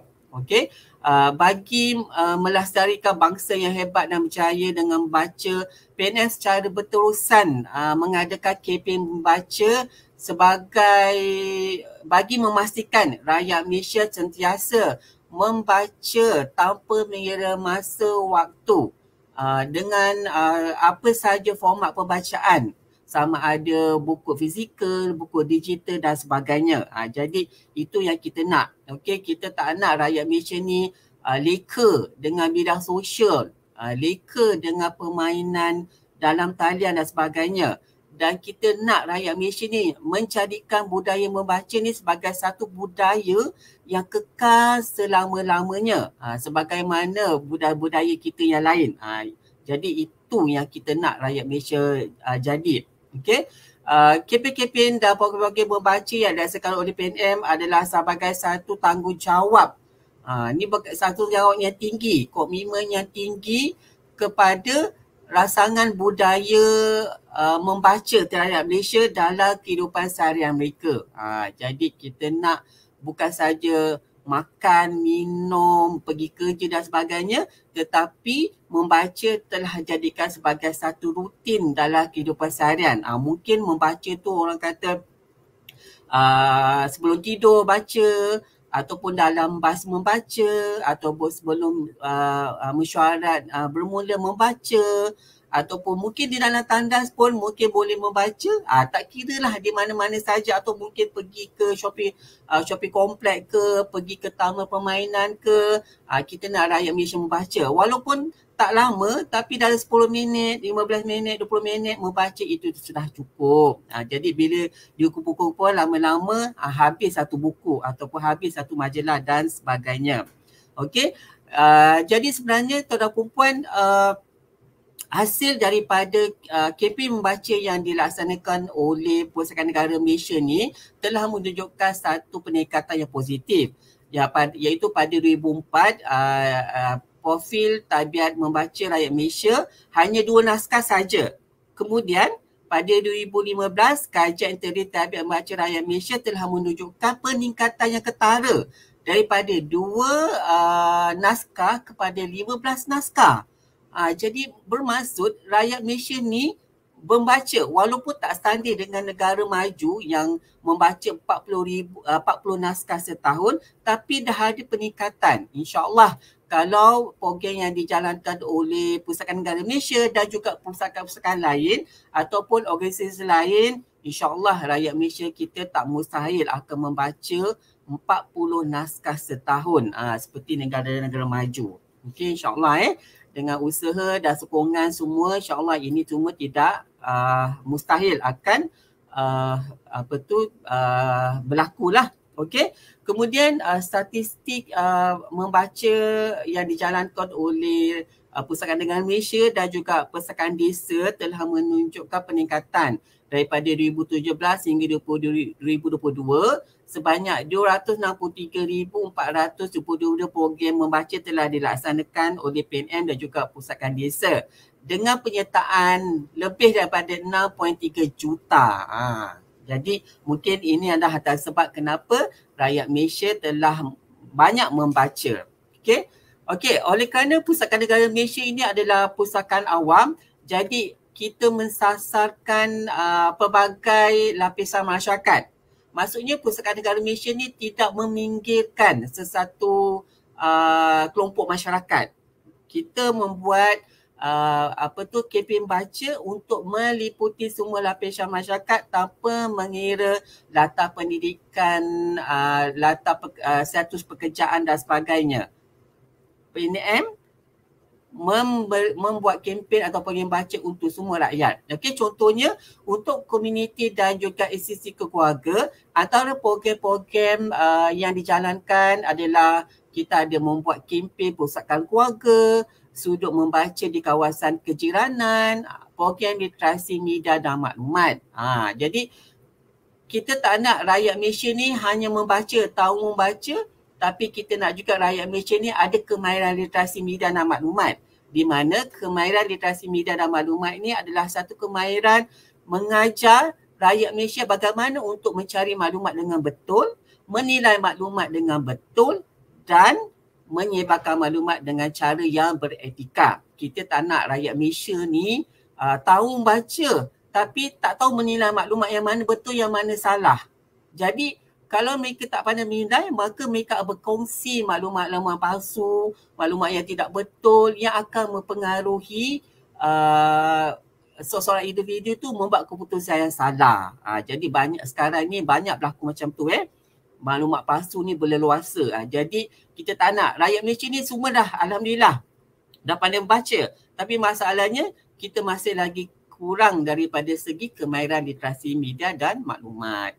Kemudian uh, Pusatkan Negara juga ada mengadakan program-program membaca di sekolah rendah dan juga sekolah menengah. Antara contohnya bacaan kegemaran saya. Uh, kita juga, PNM juga dia buat program literasi media dan maklumat untuk pelajar sekolah rendah dan sekolah menengah Jom baca 10 minit dan juga program pembudayaan Jawi. Uh, ini pun satu program membaca juga di mana kita nak membudayakan tulisan Jawi. Tulisan turun menurun uh, bangsa kita kan, bangsa Melayu. Uh, jadi kita tak nak tulisan Jawi tu hilang begitu saja. Uh, jadi program tulisan Jawi juga ada dilaksanakan di sekolah rendah dan sekolah menengah.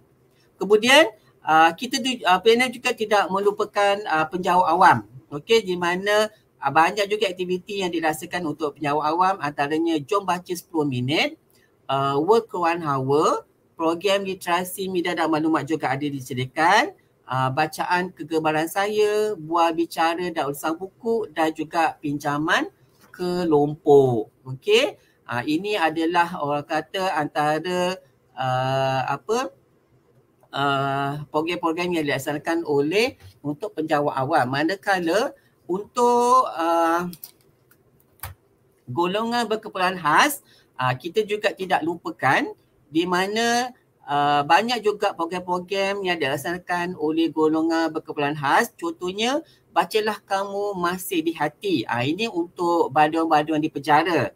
Uh, kemudian kita uh, pernah juga ada menyediakan bacalah kamu sinar hidupku. Uh, ini khusus untuk OKU pengkhianatan. Uh, PNM juga banyak mengadakan program-program membaca, mengadakan sudut bacaan bersama anak-anak yatim dan juga bersama warga emas. Okey. Uh, program untuk belia pula tuan-tuan perempuan, uh, adik-adik semua ada juga iaitu kita ada mengadakan program literasi media dan maklumat, bacaan kegemaran saya, forum belia, camp membaca, jom baca 10 minit dan juga camp uh, tulisan Jawi. Uh, jadi kita perkenalkan juga tulisan Jawi ni untuk belia-belia yang berada di Malaysia. Okay. Uh, seterusnya, uh, industri pembukaan juga kita tak lupakan. Uh, banyak juga aktiviti ataupun program-program membaca ataupun yang berkaitan. Contohnya anugerah penerbit, anugerah penulis muda, anugerah pembaca terbaik, uh, dana penulis. Uh, kalau tuan perempuan ada mem- menghasilkan buku, boleh memohon dana penulis di Pusaka Malaysia. Uh, jadi uh, apa tu uh, PNM akan memberi bantuan keuangan kepada tuan-tuan perempuan untuk uh, apa tu menerbitkan bahan-bahan terbitan. Kalau cikgu-cikgu kan ada banyak menulis buku-buku ataupun uh, apa tu buku-buku teks sekolah ke ataupun uh, novel ke ataupun saja buku-buku boleh menghubungi Pusat Negara Malaysia untuk memohon dana penulis. Kemudian uh, Pusat Negara Malaysia juga ada projek terjemahan buku tersohor. Uh, contohnya John Bastin. John Bastin ni adalah sejarawan. Pusat Negara juga ada terbit, uh, menerbitkan buku-buku uh, yang diterbitkan oleh John Bastin dan diterjemahkan ke dalam bahasa Melayu. Okey. Kemudian uh, banu manuskrip Melayu pun ada juga diterbitkan. Contohnya kitab tip. Uh, kitab tip ni adalah kitab perbuatan Melayu. Uh, buku-buku ni boleh didapati di Pusaka Negara Malaysia. Uh, dan Pusaka Malaysia juga ada menjual buku-buku ni. Kalau tuan-tuan perempuan, adik-adik berminat untuk mendapatkan buku-buku tersebut, boleh menghubungi Pusaka Negara Malaysia. Dan uh, kita juga ada mengum, uh, mengadakan uh, perhimpunan penulis.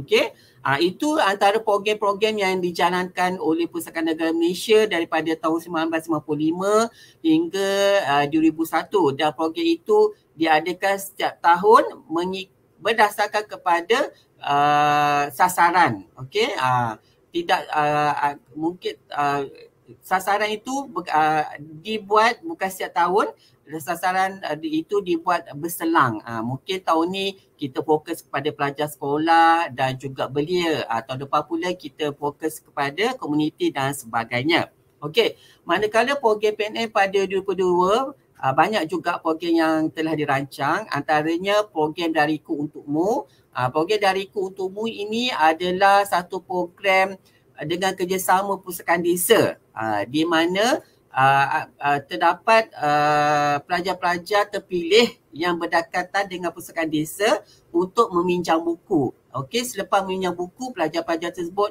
harus wajib membuat ulasan buku dalam bentuk video dan dipertandingkannya uh, ada dua kategori iaitu kategori skor rendah dan juga kategori skor menengah. Okey dan harga hadiahnya juga lumayan ya. Kemudian uh, kita uh, Persatuan Negara juga ada buat pada pada tahun ni pada bulan April ada buat jom baca 10 minit.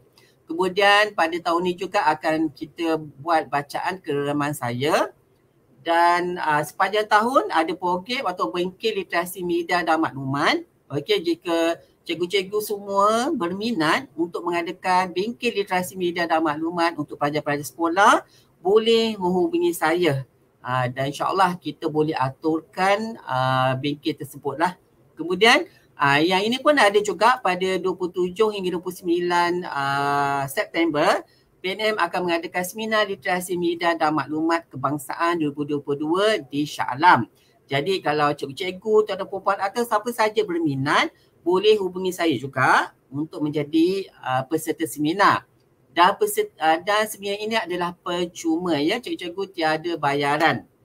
Cuma kalau nak datang ke Shah Alam tu mungkin kena sewa hotel dan sebagainya lah. Tapi untuk mengadakan seminar ini adalah percuma.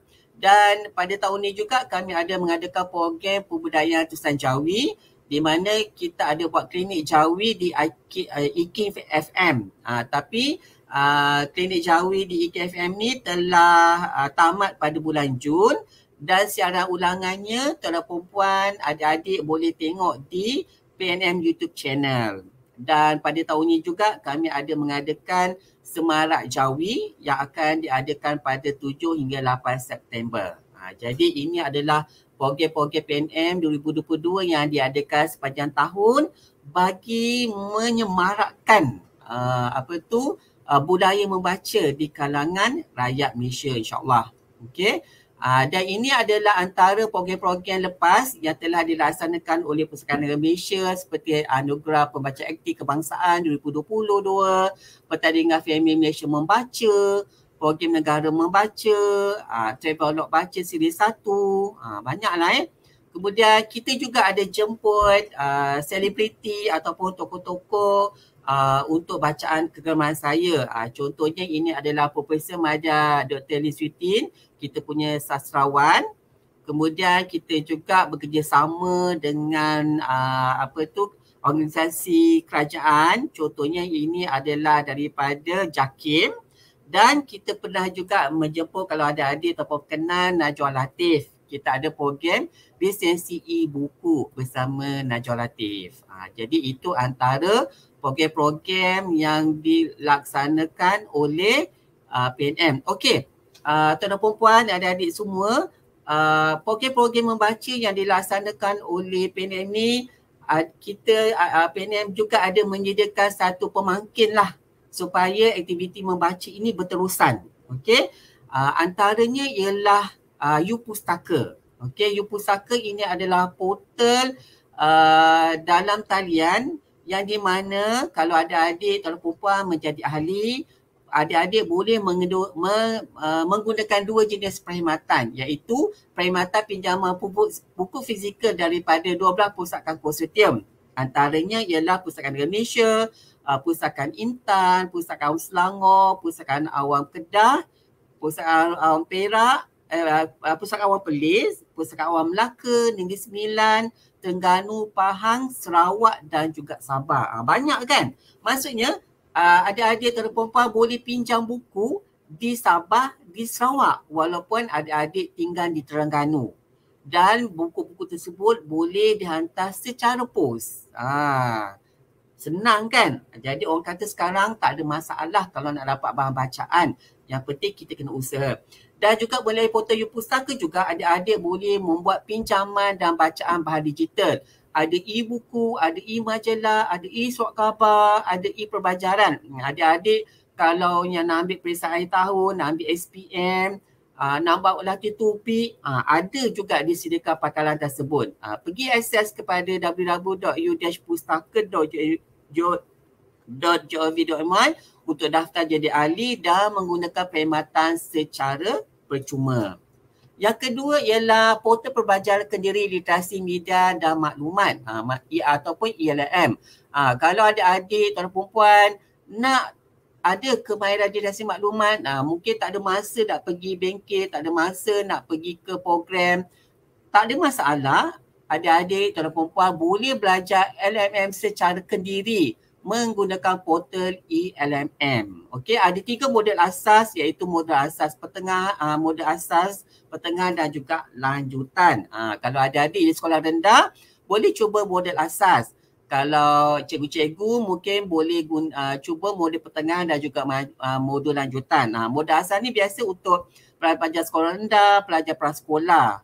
Uh, dan manakala pertengahan ni lebih kepada pelajar-pelajar sekolah menengah dan lanjutannya adalah untuk uh, profesional, untuk pelajar-pelajar universiti, untuk guru-guru ataupun untuk mereka-mereka yang uh, memegang jawatan lebih tinggi lah. Uh, jadi itu susah untuk lanjutan. Nah, jadi tuan-tuan perempuan boleh pergi ke elmm.pnm.jv.my dan daftar dan boleh uh, belajar secara kendiri literasi media dan maklumat. Dan akhir sekali, Uh, kalau tuan perempuan sekarang ni uh, tinggal berapa hari saja lagi untuk menebus voucher buku. Uh, voucher buku semarak membaca.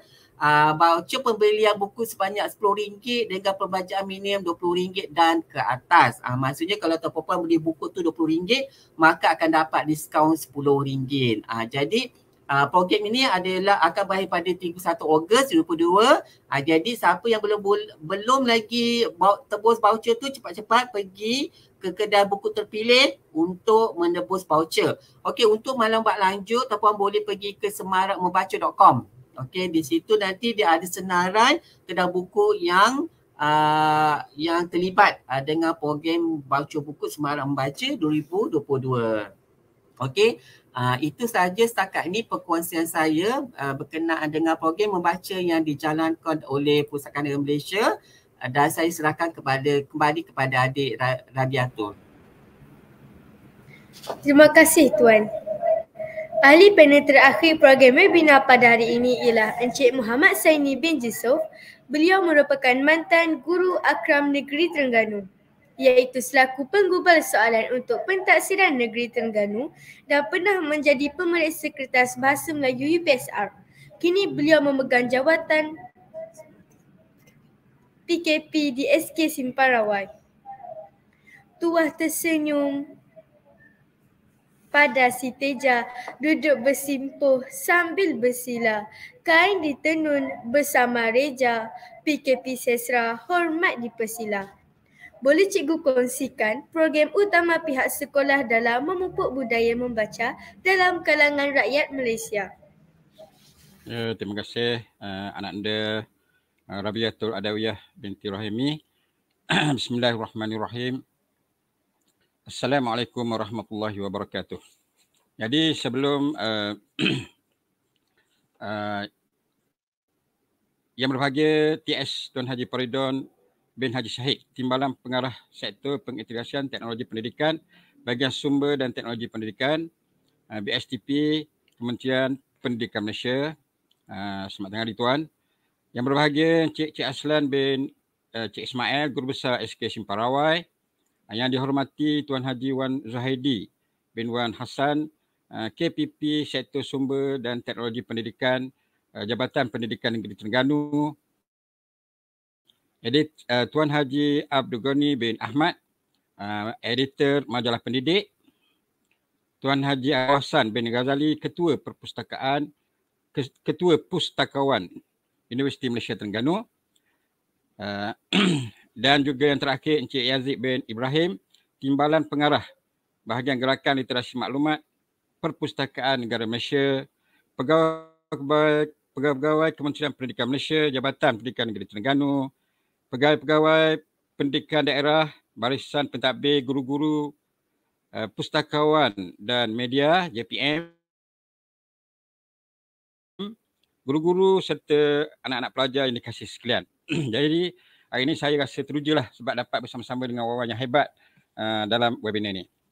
Sebelum saya lanjutkan lagi uh, pertemuan kita pada pagi ini, ingin saya perkenalkan dulu uh, sekolah SK Simparawai ini. Ya. Jadi SK Simparawai ini terletak di Kampung Rawai. Uh, kampung ni kalau kita tengok dalam Facebook kampung ni memang terkenal lah dengan dan uh, keceriaan kampung. Jadi kalau kita masuk ke kampung ni memang nampak uh, keceriaan kampung ni.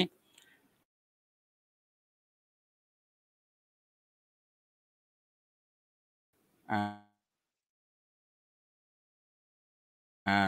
untuk pengetahuan juga uh, iaitu kira-kira uh, sekolah ni 25 km lah dari Bandar Kuala Terengganu. Uh, baiklah, uh, sebelum uh, saya teruskan dengan pro, sebelum uh, saya teruskan dengan program yang telah di, pihak sekolah lakukan dalam usaha memupuk uh, minat membaca dalam kalangan pelajar uh, slide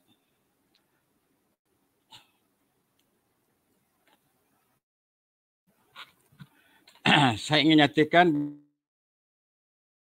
bahawa uh, sebagaimana yang dinyatakan oleh mereka tadi lah bahawa kebitaraan SK Simparawan ini adalah program nilam. Jadi uh, banyak sekolah yang memilih pelbagai kebitaraan masing-masing uh, mengikut kemampuan. Jadi uh, yeah, next.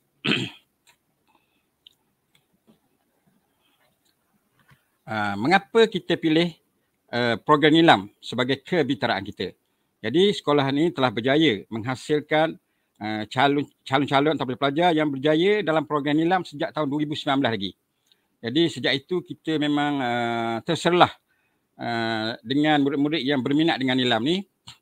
Uh, pernah Nurin Sakinah binti Ahmad Sobri mewakili sekolah dalam program sayembara baca dan kongsi peringkat kebangsaan dan berjaya dinobatkan sebagai naik Johan untuk peringkat sekolah rendah. Uh, adik uh, Nurin juga telah mendapat tempat ketiga dalam pertandingan nilam peringkat negeri Terengganu bagi kategori bahasa Inggeris sekolah rendah pada tahun yang sama. Pada tahun 2020, sekali lagi tongkol nilam sekolah iaitu Nazran Ilyas bin Muhammad Nasrun berjaya melayakkan diri uh, ke peringkat kebangsaan dan berjaya menjadi Johan berkumpulan dalam kategori bahasa Inggeris sekolah rendah. Pada tahun lepas, uh, tokoh nilam sekolah ini telah berjaya mendapat naib Johan bagi kategori bahasa Inggeris sekolah rendah bagi daerah Marang Seterusnya pada tahun ini, adik Nurin Amni Solehah binti Ahmad Saifuddin berjaya melayakkan diri untuk pertandingan nilam peringkat kebangsaan bagi kategori bahasa Inggeris uh, sekolah rendah. Uh, selain daripada murid, kita juga berbanggalah uh, dengan uh, guru kita iaitu Ustazah Syahidah yang telah mendapat tempat kelam uh, negeri Terengganu. Okay, next slide. okay. Ah, dalam menggalakkan aktiviti membaca yang kami jalankan, uh, kami telah berusaha untuk membudayakan aktiviti membaca setiap pagi pada perhimpunan pagi. Jadi uh, perhimpunan ini bermula pada pukul 7.30 hingga 7.45 kerana PDP kita bermula pada jam 7.45 pagi. Jadi uh, murid-murid ini akan sentiasa bersama buku uh, sejak dari rumah lagi untuk uh, datang ke sekolah. Okay, next.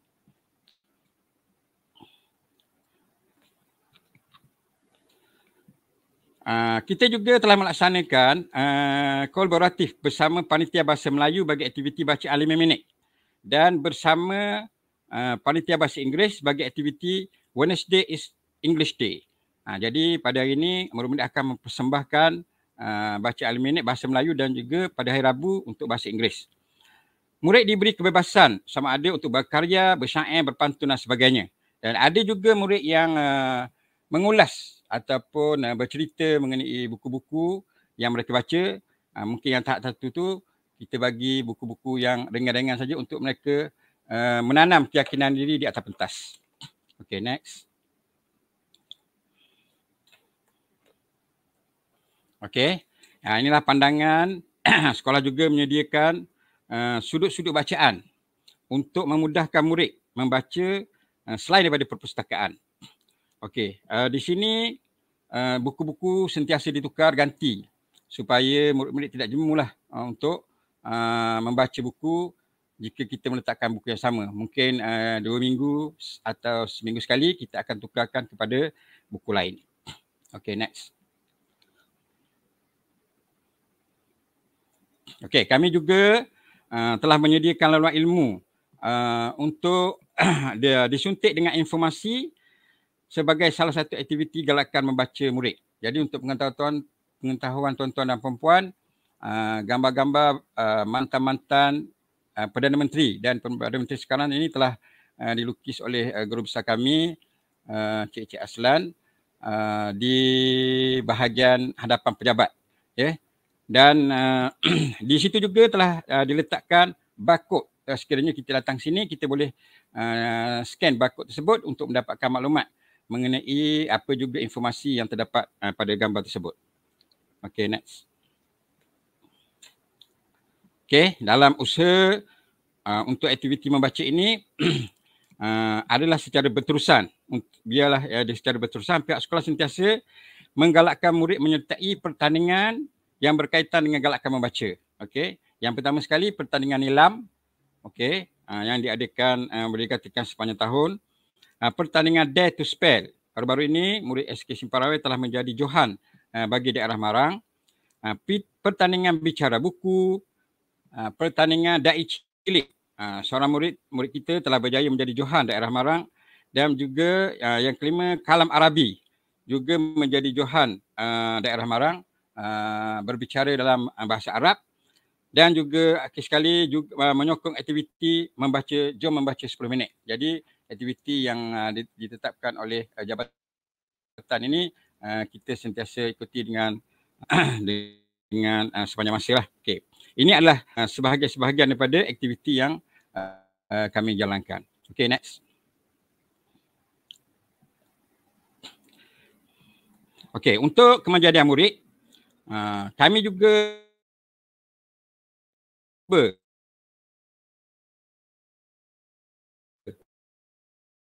untuk mengenalkan uh, murid sebagai moderator. Uh, setelah program peringkat antarabangsa ya adik uh, Rabiatul kita uh, telah uh, apa uh, berjaya menjadi uh, saya rasa moderator yang terbaiklah untuk hari ini. Antara uh, sebelum ni juga uh, program bual bicara uh, budaya membaca dalam konteks Nusantara yang mana telah dirasmikan oleh Tuan Haji Faridon telah yang telah menggabungkan tiga negara serumpun iaitu Malaysia, Indonesia dan juga Brunei Uh, dalam perkongsian ilmu berkaitan dengan galakan membaca. Jadi uh, di sinilah kita nak selahkan uh, bakat-bakat murid uh, uh, hasil untuk menunjukkan kemanjadian murid-murid kita. Okay, next. Okay. Uh, PSS juga sentiasa mencari idea, sentiasa berfikir uh, bagaimana untuk menanam minat murid membaca seperti menyediakan kemudahan rakmanya oleh uh, pihak sekolah PSS sendiri dan juga Rakmaya oleh uh, Blink Book. Jadi Rakmaya untuk uh, pengetahuan tuan-tuan dan perempuan uh, jika kita pergi kepada Google, kita type saja PSS Lestari dan di situ akan keluar rak buku maya PSS Lestari 2.0. Jadi jika klik di situ kita boleh membaca uh, banyak buku-buku yang terdapat di situ. Jadi uh, ibu bapa juga uh, sementara menunggu uh, anak anak-anak mereka juga digalakkan untuk menyertai ataupun uh, meneroka rak buku maya ini. Okey. Selain itu, uh, okay next. Okey, selain selain uh, murid dan guru, saya juga berusaha untuk menanam minat membaca dalam kalangan komuniti melalui pertandingan atau aktiviti uh, seperti penyediaan rak maya untuk komuniti, ibu bapa yang membaca yang saya sebutkan tadi, sementara menunggu anak-anak mereka pulang uh, dari sekolah, mereka yang sentiasa bersama dengan gadget masing-masing, bolehlah uh, membaca sambil menunggu anak-anak mereka di perkarangan Pondok Pengawal Keselamatan. Ya, ada juga pertandingan bicara buku iaitu uh, kolaborasi bersama PPD Marang uh, untuk semua murid uh, sekolah rendah daerah Marang. Pertandingan menghasilkan video PDP juga uh, kolaborasi bersama PPD Marang untuk semua murid rendah di daerah Marang. Okay, next. Okay, ini lagi iaitu pertandingan resensi buku dan pertandingan bergambar untuk komuniti tempat. Okay, uh, sebenarnya apabila uh, gambar dihantar, uh, pertandingan ini terbuka kepada semua murid dan keluarga masing-masing. Jadi apabila gambar dihantar, kita dapati sebenarnya di rumah masing-masing beberapa uh, banyak menyediakan uh, sudut-sudut bacaan atau rak-rak buku uh, jadi mereka pun membaca di samping rak buku masing-masing. Okay, next. Jadi ini saya rasa satu uh, kemenjadian uh, murid dan uh, uh, perhubungan antara uh, sekolah dengan komuniti. Okey, kita juga pertandingan bergambar uh, bersama dengan bersama buku telah dianjurkan baru ni iaitu uh, pertandingan bergambar bersama buku kegemaran untuk pegawai di pegawai di KPM. Dan pertandingan video, okey next. okey, pertandingan video uh, sempena bulan kemerdekaan uh, yang terbuka kepada semua murid uh, untuk sekolah uh, di di bawah KPM. Jadi secara rumusannya sebagai pentadbir, sebagai guru, kita sentiasa berusaha uh, untuk meningkatkan uh, kemahiran murid dan sentiasa menggalakkan uh, murid-murid uh, membaca dan uh, saya rasa telah menjadi budaya lah di Education Parawai murid ke mana saja akan bersama dengan buku. Untuk saya rasa saja untuk persingan pertama. Sekian. Assalamualaikum warahmatullahi wabarakatuh. Saya pulang balik kepada uh, adik anak anda moderator kita. Terima kasih cikgu. Kita teruskan dengan soalan kedua untuk semua ahli panel. Soalan ini ditujukan kepada Tuan Haji Wan Muhammad Zahidi bin Wan Hassan. Tuan Haji, apa pandangan Tuan Haji tentang istilah merdekakan minda dengan membaca? Okay, terima kasih uh, Rabiatul Adawiyah. Uh, sebenarnya saya uh, mengikuti semua pembentangan yang telah dibuat oleh ahli panel. Saya rasa amat teruja dengan kehebatan, dengan uh, banyak perkara yang saya telah belajar sebenarnya daripada ahli-ahli panel yang hebat pada pagi ini. Dan berbalik kepada istilah uh, memerdekakan minda dengan membaca, memanglah kita pertama kita menerima bahawa untuk kita ubah minda, kita tidak boleh lari daripada mempunyai ilmu. Itu ialah klausa yang saya rasa kita pegang dan untuk mendapatkan ilmu maka medan yang paling rapat dengan kita, yang paling luas untuk kita dapat ialah tentunya daripada membaca. Itu yang yang saya rasa kita kita semua bersetuju. Dan kalau begitu bermaksudnya kalau kita ingin menjadi pekerja yang baik maka kita kita mesti orang yang banyak ilmu banyak membaca. Kalau kita ingin menjadi pelajar yang yang hebat cemerlang maka kita mesti menjadi pelajar yang banyak membaca. Kalau kita seorang guru yang ingin dihormati maka mesti kita menjadi menjadi orang yang banyak membaca kalau kita ingin menjadi penulis yang baik maka penulis itu mesti mempunyai minda yang banyak membaca sehinggalah kepada uh, sesiapa saja yang ingin merubah kepada dunia sekalipun maka kuncinya ialah pada pada membaca.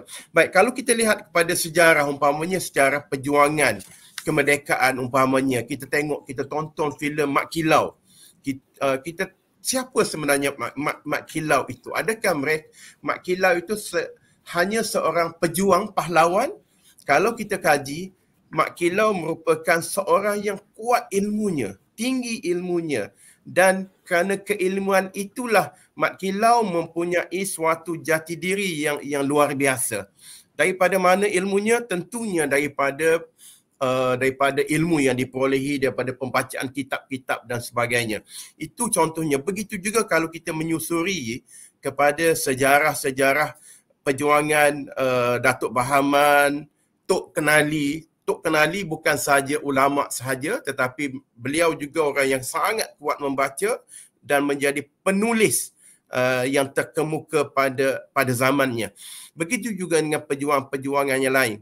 Uh, dan kalau pada hari ini kalau kita bercakap berkaitan dengan globalisasi uh, uh, dunia digital tanpa sepadan maka hari ini kita bercakap kepada sesiapa yang boleh menguasai maklumat uh, mempunyai info maklumat maka mereka akan dapat menguasai dunia. Itu klausa yang biasa kita dengar.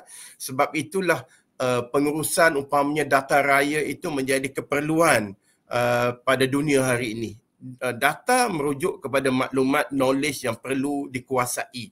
Jadi kalau kita melihat begitu saya berpandangan secara ringkasnya untuk untuk untuk hadirin uh, untuk menjadi uh, mereka yang punya minda yang merdeka dia mesti ada setidak-tidak ada empat ciri. Pertama ialah uh, mereka yang mempunyai minda yang merdeka perlu kaya dengan maklumat supaya mampu membezakan antara yang baik dan yang batil. Sebab itulah kalau kita lihat kalau ada isu viral dalam media sosial umpamanya, mereka yang tidak merdeka, yang tidak kuat membaca, mereka mudah terima perkara yang diviralkan tanpa menilai. Tetapi pada orang yang ada ilmu, yang kuat membaca, minda mindanya merdeka, maka dia akan tapis dan pastikan kesahihan maklumat tersebut. Yang kedua ialah mereka yang punya minda merdeka mesti mempunyai hujah yang sahih dan benar dan ilmiah. Uh, maksudnya kalau nak, ada perkara yang nak di, dimaklumkan, ditulis dan sebagainya, mereka ada hujah yang sahih, yang benar dan ilmiah. Tidak berlakulah kalangan pelajar kita umpamanya uh, lebih cenderung umpamanya hasil kerja mereka lebih kepada copy and paste, plagiat dan sebagainya. Sebab mereka tidak ada idea. Mereka kurang membaca. Jadi minda mereka tertutup, bukan merdeka. Itu yang kedua. Yang ketiga ialah uh, mereka yang uh, minda merdeka mesti mampu membina watak dan kepribadian. Sebab itulah kita mesti ada kekuatan akan membina hasil bacaan kita akan membina jiwa, watak dan kepribadian untuk kita tidak mudah menerima sebarang perkara yang kita tak pasti. Hasutan dan sebagainya, propaganda dan sebagainya, maka ia akan menjurus kepada tindakan yang mungkin tidak tepat yang kita buat. Uh, jadi itu antara perkara yang yang perlu kita ada watak dan dan dan membina peribadi kita. Dan yang terakhir ialah sebagaimana yang disarankan oleh pendeta Agung Zakba uh, apabila mendefinisikan berkaitan dengan dengan uh, dengan jiwa merdeka tadi ialah mesti ada jati diri yang kuat kita perlu membina jati diri kita yang kuat, uh, jati bangsa kita, jati agama kita, jati diri tentang pendidikan yang kita terima dan bahasa kita. Mesti kita kuatkan perkara tersebut supaya uh, kita menjadi mereka yang punya jiwa, yang punya minda merdeka hasil daripada ilmu yang kita perolehi, hasil daripada apa yang kita baca. Jadi saya simpulkan bahawa marilah kita sama-sama menjadi menanamkan jiwa untuk cintakan ilmu, cintakan membaca. Marilah kita menjadi rakyat yang suka membaca. Sekian terima kasih. Kembali kepada adinda kita, anak anda, anak anda uh, Rabi Atul Adawiyah. Dipersilakan. Terima kasih Tuan Haji. Soalan ini ditujukan kepada Tuan Haji Abdul Ghani bin Ahmad. Tuan Haji, apa pandangan Tuan Haji tentang istilah merdekakan minda dengan membaca? Terima kasih anak anda Rabitul Adawiyah. Jadi tepat, istilah ni memang tepat uh, kita pilih macam yang Tuan Wan uh, Muhammad Zaidi cakap tadi. Memang istilah ni tepat. Sebab hanya dengan membaca kita dapat memerdekakan atau membebaskan minda kita daripada duduk di bawah tempurung daripada hanya mempunyai satu perspektif atau point of view dalam sesuatu perkara. Dengan membaca, membaca kita akan dapat melihat satu perkara daripada banyak sudut yang berbeza. Setiap benda dalam dunia ni ada banyak perspektif, ada banyak angle dia kan. Uh, termasuk benda-benda fizikal, contohnya sebuah kereta, kita boleh tengok daripada depan, daripada belakang, daripada atas, daripada bawah. Kalau adik-adik uh, semua pernah belajar dulu, kisah orang buta dengan gajah bagaimana orang buta nak menggambarkan gajah di dalam apa, pemikiran mereka. Mereka uh, ada yang pergi meraba-raba di bahagian kaki, ada yang pergi meraba di bahagian ekor, oh ini rupanya gajah. Ada yang meraba-raba di bahagian balat, belalai gajah tu dan mereka oh ini rupanya belal, uh, seekor gajah. Maka kalau kita tidak membaca, kita akan duduk dalam perspektif yang yang uh, sempit begitu. Uh, tapi bila kita membaca, kita akan dapat membuka minda kita, membuka penglihatan minda kita, mata hati kita pada sesuatu isu atau perkara uh, atau subjek dalam banyak sudut, dalam banyak uh, pandangan. Jadi dengan cara itu minda kita lebih bebas dan kita dapat membuat penilaian dengan lebih uh, tepat dan lebih subjektif dan membantu kita untuk memilih mana yang benar. Uh, saya suka apa dengan uh, apa yang disebut oleh Cik Yazid Ibrahim tadi mengenai program literasi maklumat. Kerana bagaimana kita nak menilai sesuatu maklumat dan uh, memilih mana satu yang benar dan mana satu yang tepat. Uh, lebih-lebih lagi dalam dalam soal uh, di mana sesuatu isu atau atau perkara itu begitu subjektif. Maknanya tak ada satu perkara yang tepat atau betul uh, dengan sebetul-betulnya uh, itu memerlukan penilaian yang lebih subjektif dan pe- pe- kajian yang lebih banyak. Jadi program literasi maklumat ni untuk kita melatih diri kita supaya uh, kita tidak bersifat uh, selektif ataupun terpilih. Kita hanya memilih maklumat yang kita suka, memilih maklumat yang memihak kepada kita untuk kita uh, percaya dan pegang kepada maklumat itu. Tetapi kalau kita banyak membaca, pengetahuan kita luas, kita boleh menilai uh, uh, satu maklumat itu dengan lebih rasional. Kan? Jadi itu yang dikatakan tadi, merdeka ni bukan sekadar bebas daripada penjajahan fizikal.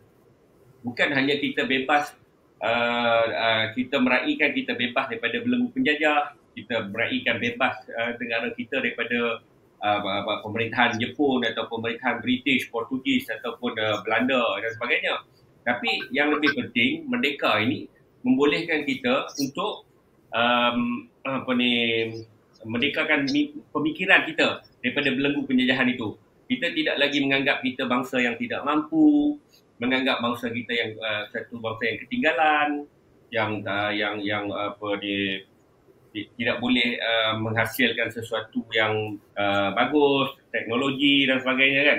Jadi uh, itu yang dimaksudkan oleh uh, pendeta takbar tadi yang tuan uh, tuan uh, apa ni uh, Wan Zuhaidi pun sebut tadi kan.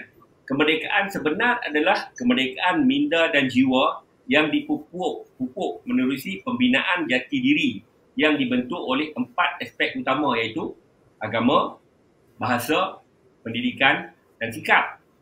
Sikap ni penting. Macam mana kita nak boleh pupuk? Kan?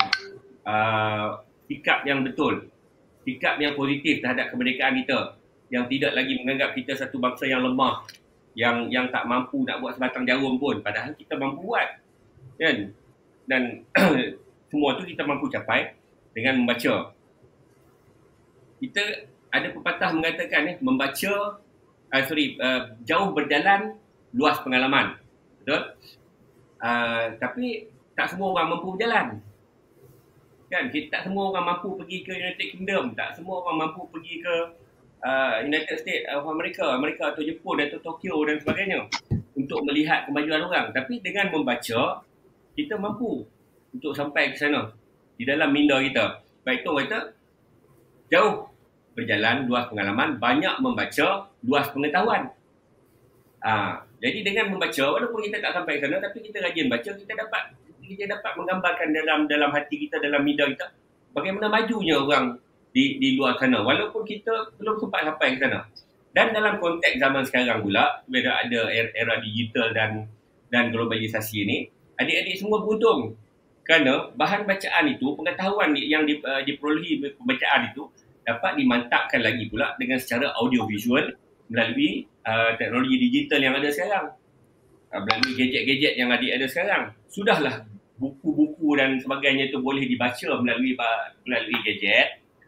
Boleh pula dimantapkan lagi dengan video-video daripada YouTube, TikTok dan sebagainya uh, untuk menjelaskan lagi pemahaman apa ni adik-adik semua, anak-anak semua.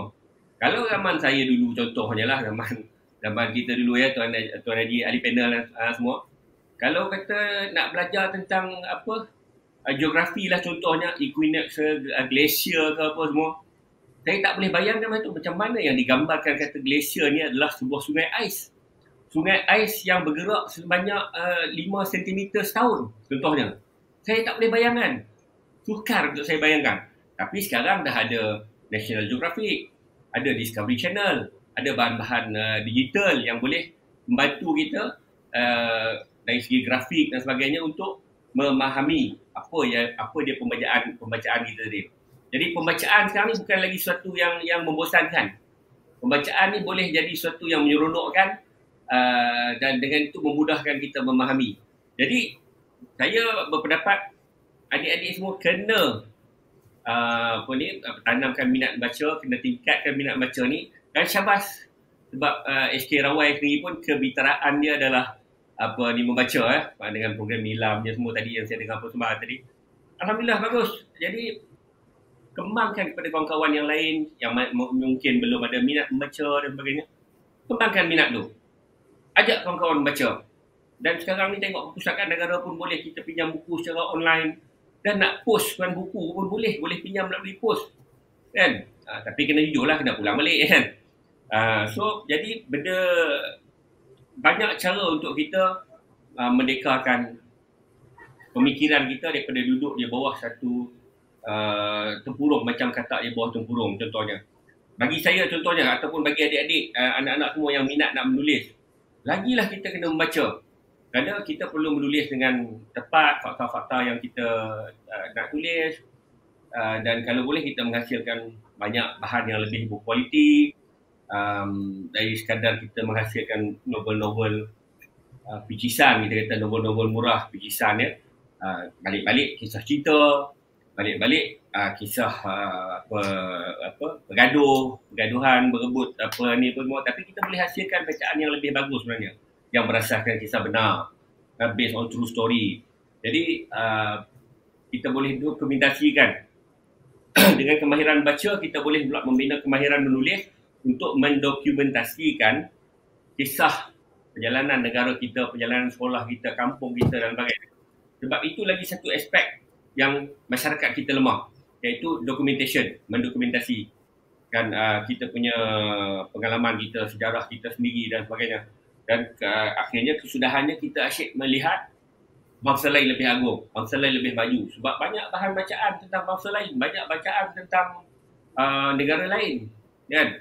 Jadi adik-adik semua lepas ni boleh membina satu minat untuk menulis juga, bukan sekadar baca saja tapi menulis juga, mendokumentasikan peristiwa-peristiwa penting bukan saja di peringkat negara tapi di peringkat komuniti juga, di peringkat sekolah juga, di peringkat kampung masing-masing juga semua benda tu akan jadi sejarah satu hari nanti uh, yang akan menjadi bukti kepada uh, ke, uh, kemajuan ataupun jati diri bangsa kita. Uh, jadi saya kata tajuk ni memang ke, memang kena, memang uh, apa memerdekakan minda dengan membaca ni memang kena. Hanya dengan cara itu saja kita boleh melihat sudut pandang dunia yang luas dan pelbagai perspektif. Okey, adik, uh, adik Rabi itu. Saya serah dulu balik pada moderator.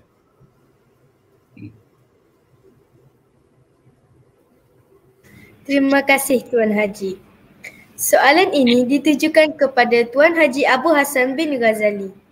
Tuan Haji, apa pandangan Tuan Haji tentang istilah merdekakan minda dengan membaca?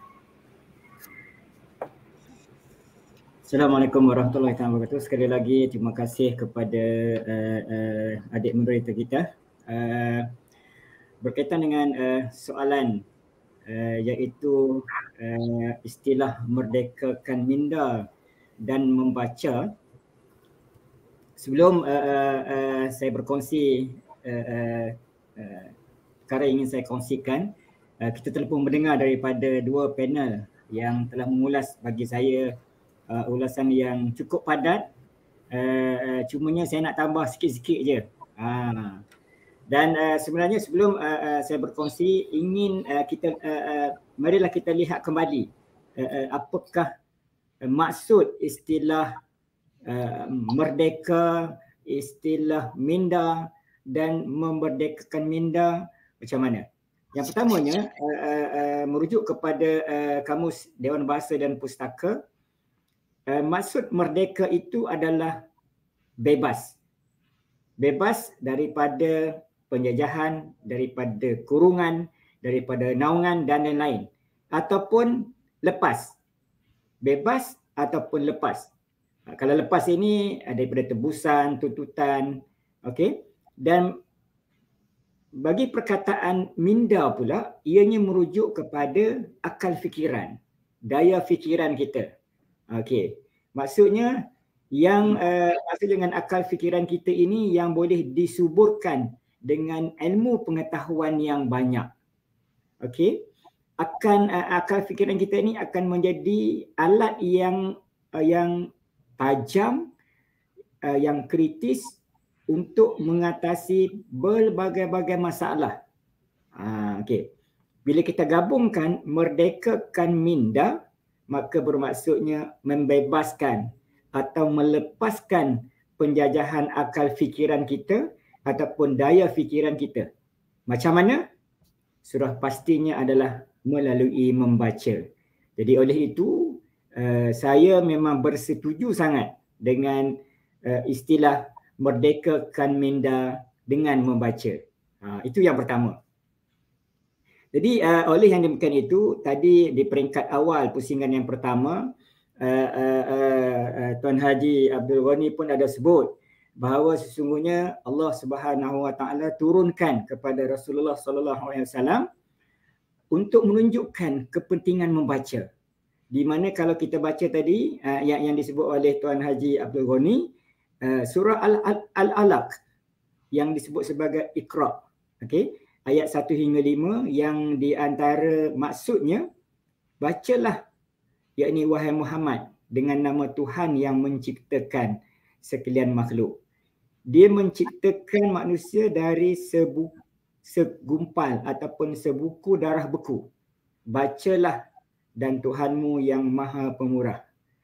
Yang mengajar manusia melalui pena dan tulisan. Dia mengajar manusia apa yang tidak diketahuinya. Ha, okay. Bacalah melalui pena dan tulisan. Persoalannya sekarang ini, uh, dah 65 tahun kita sambut kemerdeka- kemerdekaan pada tahun ini. Adakah kita termasuk di kalangan orang yang suka membaca? Ha, bukan saya tujukan kepada uh, anak-anak pelajar tapi saya tujukan sendiri kepada diri saya dan kita semualah.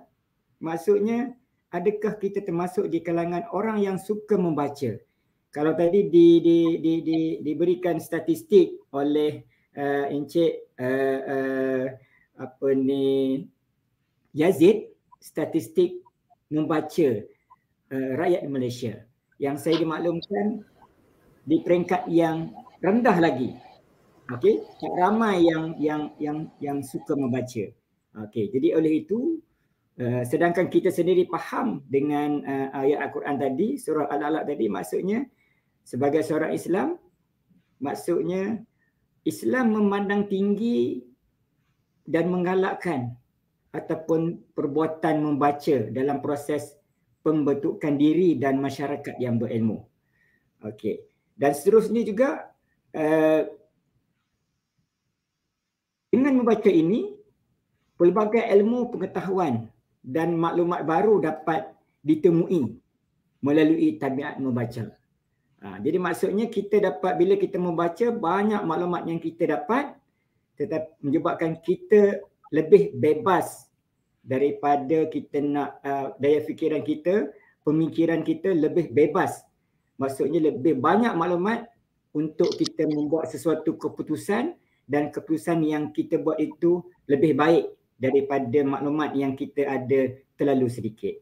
Seterusnya seperti mana yang disebut uh, maksudnya uh, Allah Subhanahu Wa Taala uh, mengangkat amalan membaca serta memberi petunjuk kepada hamba-hambanya tentang kepentingan membaca ini. Ha, bagi memandu mereka ke arah kehidupan yang lebih sempurna. Ini, ini adalah janji Allah Subhanahu Wa Taala.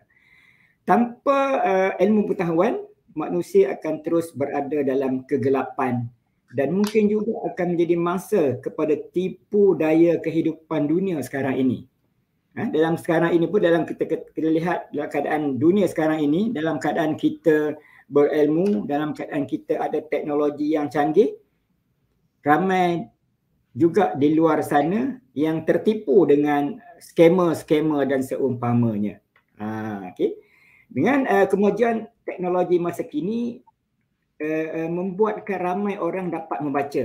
Tadi disebutkan oleh uh, Encik Roni dan juga Encik Wan, uh, Tuan Haji Wan Zuhadi dengan teknologi terkini. Okay, ramai orang dapat membaca hanya menggunakan uh, telefon pintar uh, dan gadget-gadget dan ini merupakan uh, uh, cabaran kepada kita. Okey. Pertamanya maksudnya dalam pemilihan bahan bacaan yang berkualiti. Perlu dititik beratkan uh, dalam proses membina identiti berilmu dan berakhlak mulia. Okay? Pemilihan bahan bacaan yang sekarang ini tanpa uh, kawalan kita kata maklumat di hujung jari anda. Uh, cabaran kepada ibu bapa khususnya contohnya Okey, anak-anak yang dekat rumah yang kita biasa dengar dalam akhbar dan seumpamanya. Mungkin di kalangan kita sendiri ada mengalaminya. Macam mana anak-anak ini terdedah dengan maklumat-maklumat yang pelbagai dan ianya perlu ditapis supaya ianya menjadi bahan yang berkualiti untuk pembangunan diri dan akhlak uh, kita semua. Okey. Uh, dan seterusnya juga uh, maksudnya uh, tanpa kawalan dan tapisan tadi, maksudnya anak-anak ni mungkin terdedah kepada uh, pelbagai bentuk pengaruh dan ideologi negatif yang cuba disebarkan oleh pihak-pihak yang tidak bertanggungjawab melalui bahan bacaan. Okey. Dan satu lagi, dengan uh, kepesatan teknologi masa kini, sedikit sebanyak menurunkan minat golongan remaja untuk memilih buku sebagai bahan bacaan utama. Ha, okay, itu tak dapat dinafikan. Uh, uh, Encik uh, uh, uh, Yazid daripada PMM, uh, saya yakin dengan uh, apa ni uh, gerakan literasi, uh, maksudnya telah melihat uh, perkara ini dengan saya yakin data pun ada.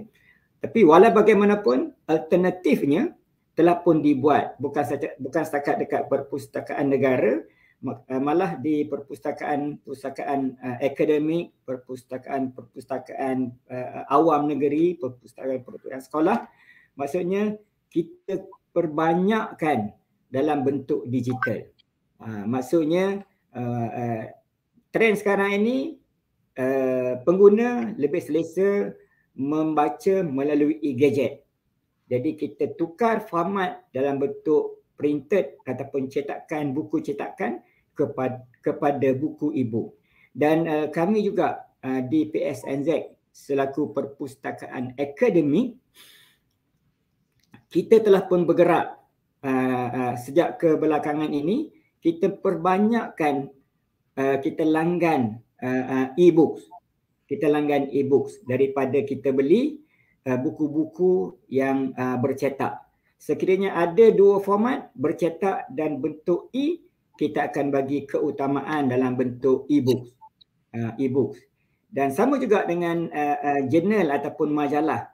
Okey, dan untuk makluman uh, uh, uh, sidang pendengar, maksudnya kalau kita perpustakaan akademik, khususnya UMT PSNZ, setiap tahun kita memperuntukkan hampir 3 juta ringgit setiap tahun untuk kita melanggan bahan-bahan digital.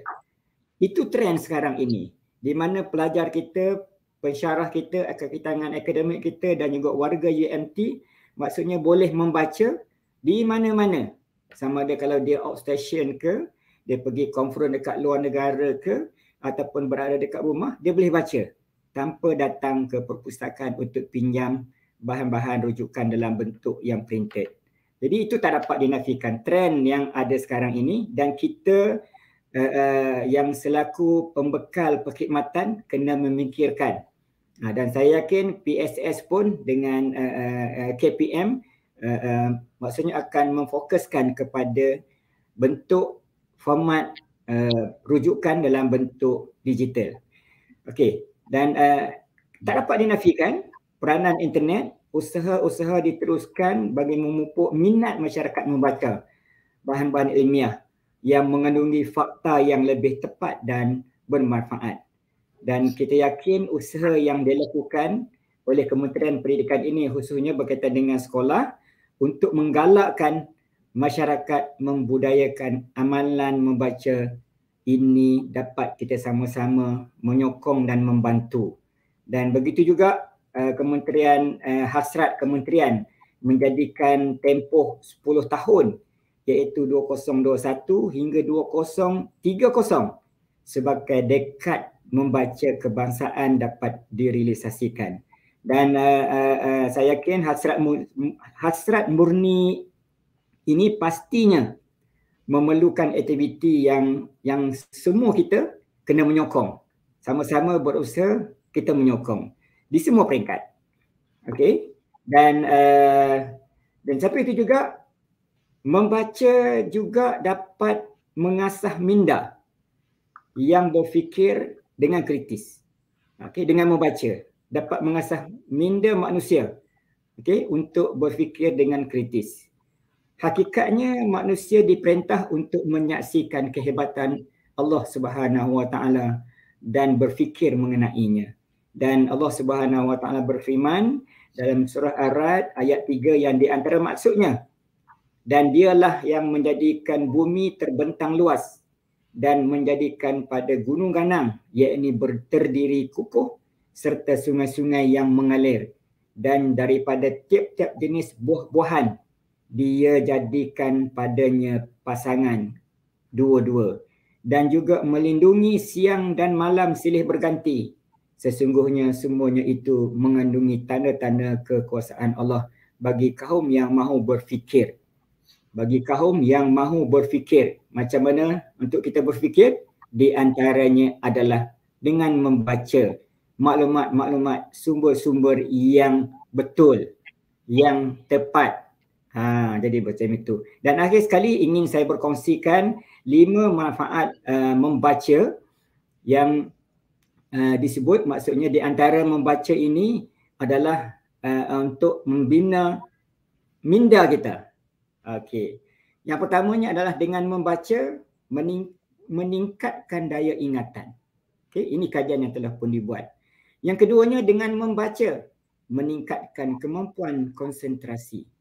Ha, meningkatkan kemampuan konsentrasi. Yang ketiganya dengan membaca menurunkan risiko stres dan depresi.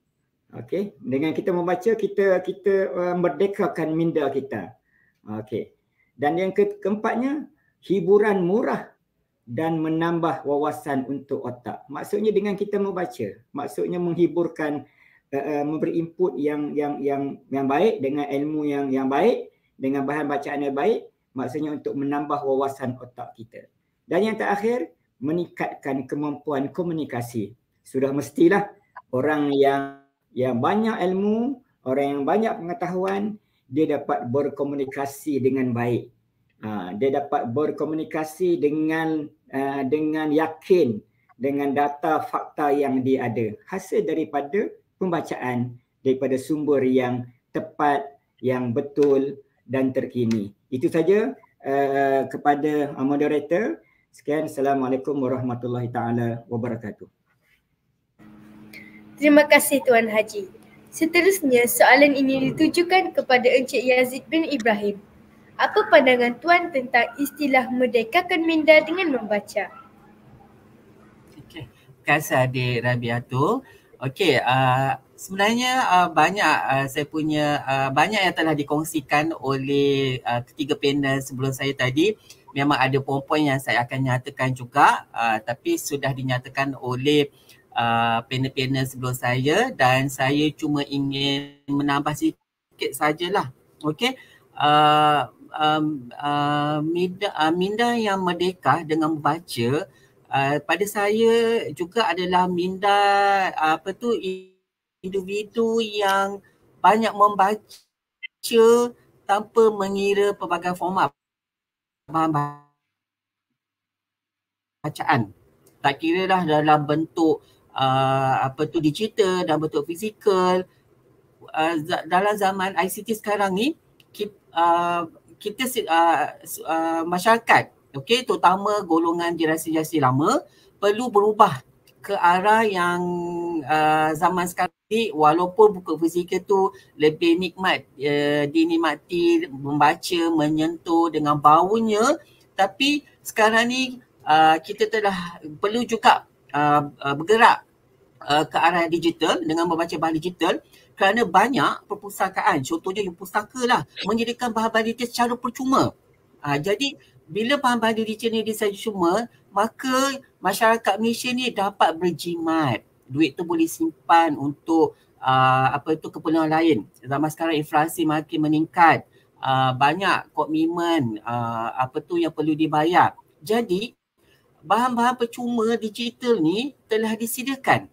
Jadi pel, uh, rakyat Malaysia ni perlu mengambil peluang tersebut untuk membaca bahan digital secara percuma yang disediakan oleh Pusakaan Negara Malaysia dan juga pusakaan lain macam contoh Pusakaan Negeri uh, banyak juga menyediakan bahan-bahan digital uh, contoh e-buku, e-surat khabar secara percuma. Uh, jadi secara tak langsung kerajaan telah membantu rakyat-rakyat Malaysia ni untuk berjimat uh, tanpa perlu membeli bahan-bahan bacaan. Kecuali lah kalau bahan bacaan tu tiada dalam bentuk digital maka mereka boleh pergi ke perpustakaan. Kalau tak ada juga barulah mereka perlu beli. Ha, nampak tak komitmen pusaka di Malaysia ni dalam membantu rakyat Malaysia untuk memerdekakan minda mereka dengan membaca. Ha, jadi sekarang ni di Malaysia juga tiada halangan untuk kita membaca. Semua orang bebas membaca pelbagai jenis genre, pelbagai jenis bidang. Tiada halangan pada kerajaan nak baca apa, bacalah. Ha, jadi bebas. Ha, itu adalah satu juga faktor kenapa rakyat Malaysia perlu membaca. Sebab setiap orang ada hak untuk mendapatkan ilmu. Setiap orang ada hak untuk mendapatkan maklumat dan tiada siapa yang boleh menghalang. Tinggal terserah kepada diri kita sebagai individu nak membaca atau tidak. Sebab semua kemudahan, semua keperluan sudah disediakan oleh kerajaan. Ha, jadi ibu bapa daripada sinilah perlukan memainkan peranan penting dengan memupuk anak-anak daripada sekolah, daripada kecil untuk membaca buku. Ah contohnya kalau contohnya kalau pergi ke kedai makan, ah jangan kasih uh, jangan kasih uh, smartphone untuk mereka tengok YouTube dan sebagainya. Bawa buku, baca sementara menunggu makanan sampai ataupun jangan semata-mata pergi ke pusat membeli belah saja pada hujung minggu atau hari cuti. Bawa anak-anak datang ke perpustakaan. Pusakaan negara ada, pusakaan awam negeri ada, pusakaan desa ada. Jadi apalah sesekali, mungkin sebulan sekali bawa anak-anak datang ke pusakaan supaya mereka boleh membaca, supaya mereka boleh membebaskan minda-minda mereka daripada unsur-unsur negatif yang secara tak langsung kadang-kadang tu boleh mempengaruhi kehidupan mereka, boleh mempengaruhi keputusan mereka, aa, ah, boleh mengelakkan mereka dari melakukan ah, benda-benda yang negatif. Kan? Macam contohnya mak rempit dan sebagainya. Itu yang kita tak nak. Kita nak rakyat Malaysia ni terutama generasi muda adalah generasi yang berpegang kritis, kreatif dan berinovatif yang mampu memberi kesan kepada pembangunan intelek negara. Dan pada saya membaca ni juga um, uh, memberikan minda kerana uh, kita boleh mengambil iktibar daripada kejayaan dan kegagalan orang lain. Uh, kalau, kalau kalau kita baca buku motivasi kan, buku autobiografi, uh, daripada situ kita boleh uh, uh, menjadikan sebagai satu motivasi kepada kita untuk berjaya seperti mereka dan kita mengambil uh, apa tu manfaat daripada kegagalan mereka supaya kita tidak mengulangi kesalahan yang sama uh, untuk individu dan juga negara. Uh, jadi uh, pada saya lagi satu membaca ni pun bagus juga untuk membuka minda kita kepada pendapat dan pandangan orang lain. Uh, kadang-kadang kita kadang buku ni macam-macam jenis ada, macam-macam judul ada dan kita tak akan sempat untuk baca semua. Jadi dengan baca kita boleh berkongsi dengan orang lain dan kita boleh bertukar pendapat. Ha, daripada situ kita tak perlu baca semua buku. Kita cuma membaca dan berkongsi dengan orang yang ada minat yang sama ataupun orang lain supaya kita tak merasakan apa yang kita baca tu betul. Ataupun kita tak merasa kita seorang yang betul. Tapi sebenarnya ada pandangan lain di mana pandangan tersebut sebenarnya uh, boleh mengubah persepsi kita terhadap sesuatu perkara. Ha, itu sebenarnya kalau kita ni fokus kepada sesuatu benda, baca tapi tak berkongsi dengan orang lain, ha, itulah yang jadi macam-macam tu. Okey, jadi uh, ataupun kita sejasa, kita baca buku yang bias, buku yang berat sebelah, kita tak merujuk kepada buku-buku lain ataupun tidak merujuk pada orang lain pun itu pun satu masalah juga. Ha, jadi sebenarnya membaca ni uh, seperti yang mana yang cakap tadi adalah jabatan ilmu. Jabatan kepada kejayaan negara kita. Jabatan kepada uh, melahirkan masyarakat berilmu ti- pengetahuan tinggi, masyarakat bermaklumat. Uh, jadi supaya sudah sampai sekarangnya uh, anak-anak kita dan juga ibu bapa uh, perlu memainkan peranan yang penting dalam dalam membantu perpustakaan dan juga sekolah dalam melahirkan masyarakat yang berbudaya membaca. Okey, setakat itu sahaja adik Rabiatul. Saya serahkan ke- kembali. Terima kasih. Terima kasih Tuan. Dan soalan yang terakhir ini ditujukan Cikgu Muhammad Saini bin Yusuf. Apa pandangan Tuan tentang istilah merdekakan minda dengan membaca?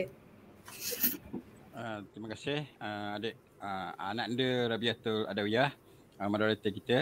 Saya rasa uh, banyaklah input-input yang saya dapat daripada panel-panel yang terdahulu. Uh, terutama sekali uh, Tuan Haji Abu Hassan, Cik Aziz, uh, Tuan Haji Abdul Ghani dan juga Cik Muhammad, uh, Cik Muhammad Zuhaidi yang telah uh, mengupas uh, mengenai uh, betapa betapa pentingnya uh, membaca. Jadi kita nak memerdekakan pemikiran kita. Jadi untuk di pihak sekolah ni kita uh, kita sentiasa merujuk kepada uh, falsafah pendidikan. Uh, jadi dalam uh, falsafah pendidikan Malaysia uh, tujuan uh, saya ambil sikit saja itu uh, usaha ini adalah bagi melahirkan warga negara Malaysia yang berilmu pengetahuan, berketerampilan, berakhlak mulia, bertanggungjawab dan berkeupayaan mencapai kesejahteraan diri serta memberi sumbangan terhadap keharmonian dan kemakmuran keluarga, masyarakat dan negara. Jadi itulah uh, tujuan falsafah pendidikan negara. Uh, jadi itulah yang kita amalkan di sekolah untuk supaya pelajar-pelajar kita uh, mencapai uh, objektif yang telah ditetapkan oleh uh, dalam falsafah pendidikan negara. Jadi kalau kita tengok sini uh, uh, apa ni pada zaman dahulu, pada zaman lampau, zaman primitif dahulu uh, kehidupan manusia hanya bergantung kepada pengetahuan uh, cara berburu, cara mencari makanan dan sebagainya. Jadi kemudian kita beralih kepada zaman agraria, uh, zaman pertengahan. Uh, pada zaman tersebut uh, manusia telah uh, apa uh, telah uh, ber, uh, apa uh, membaca ini hanya terbuka kepada golongan elit saja, golongan raja dan sebagainya. Kemudian pada zaman industri barulah uh, golongan uh, kerajaan sedar bahawa uh, semua rakyat perlu membaca untuk mendapatkan ilmu pengetahuan kerana kilang-kilang nak dibuka dan sebagainya. Jadi kita alhamdulillah uh, sekarang ni bahan bacaan kita uh, terlalu banyak. Cuma tanyalah diri kita sama ada kita suka membaca atau tidak membaca tidak. Dan uh, dalam falsafah membaca juga uh, yang saya ambil sikit dalam kata-kata Chomsky ni dia kata yang menyatakan bahawa tiada gunanya kita membaca jika kita melupakannya lima minit kemudian. Uh, jadi uh, kalau kita yang pentingnya ialah uh, falsafah membaca ni ialah kita nak bukannya mengumpulkan seberapa banyak buku tetapi apa yang kita dapat daripada apa yang kita baca. Ha, jadi saya rasa uh, itulah yang uh, yang penting. Dan uh, saya dapat simpulkan sedikitlah di sini bahawa uh, kita di pihak sekolah ni akan cubalah untuk menanamkan minat membaca kerana kita percaya.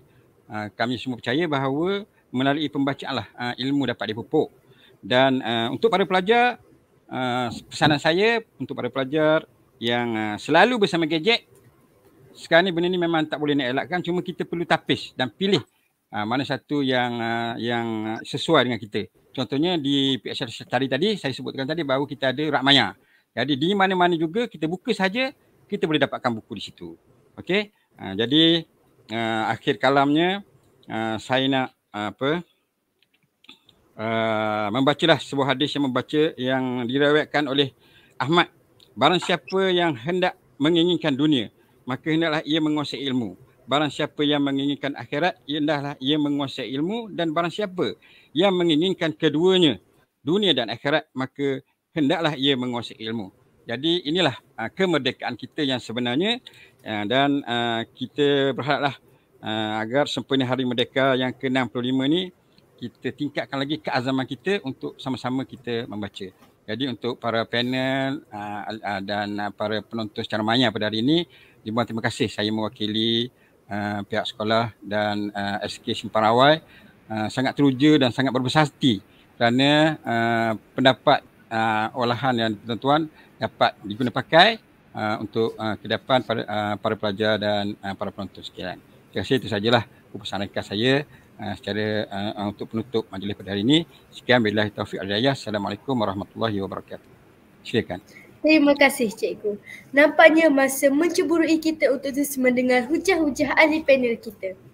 Jika ada yang ingin bertanya kepada ahli panel, boleh kemukakan soalan atau menaip di paparan mesej untuk dijawab oleh ahli panel. Sebelum kita menutup majlis pada hari ini, perhatian kepada semua peserta. Anda boleh mengisi kehadiran hari ini pada pautan SPL KPM yang disediakan.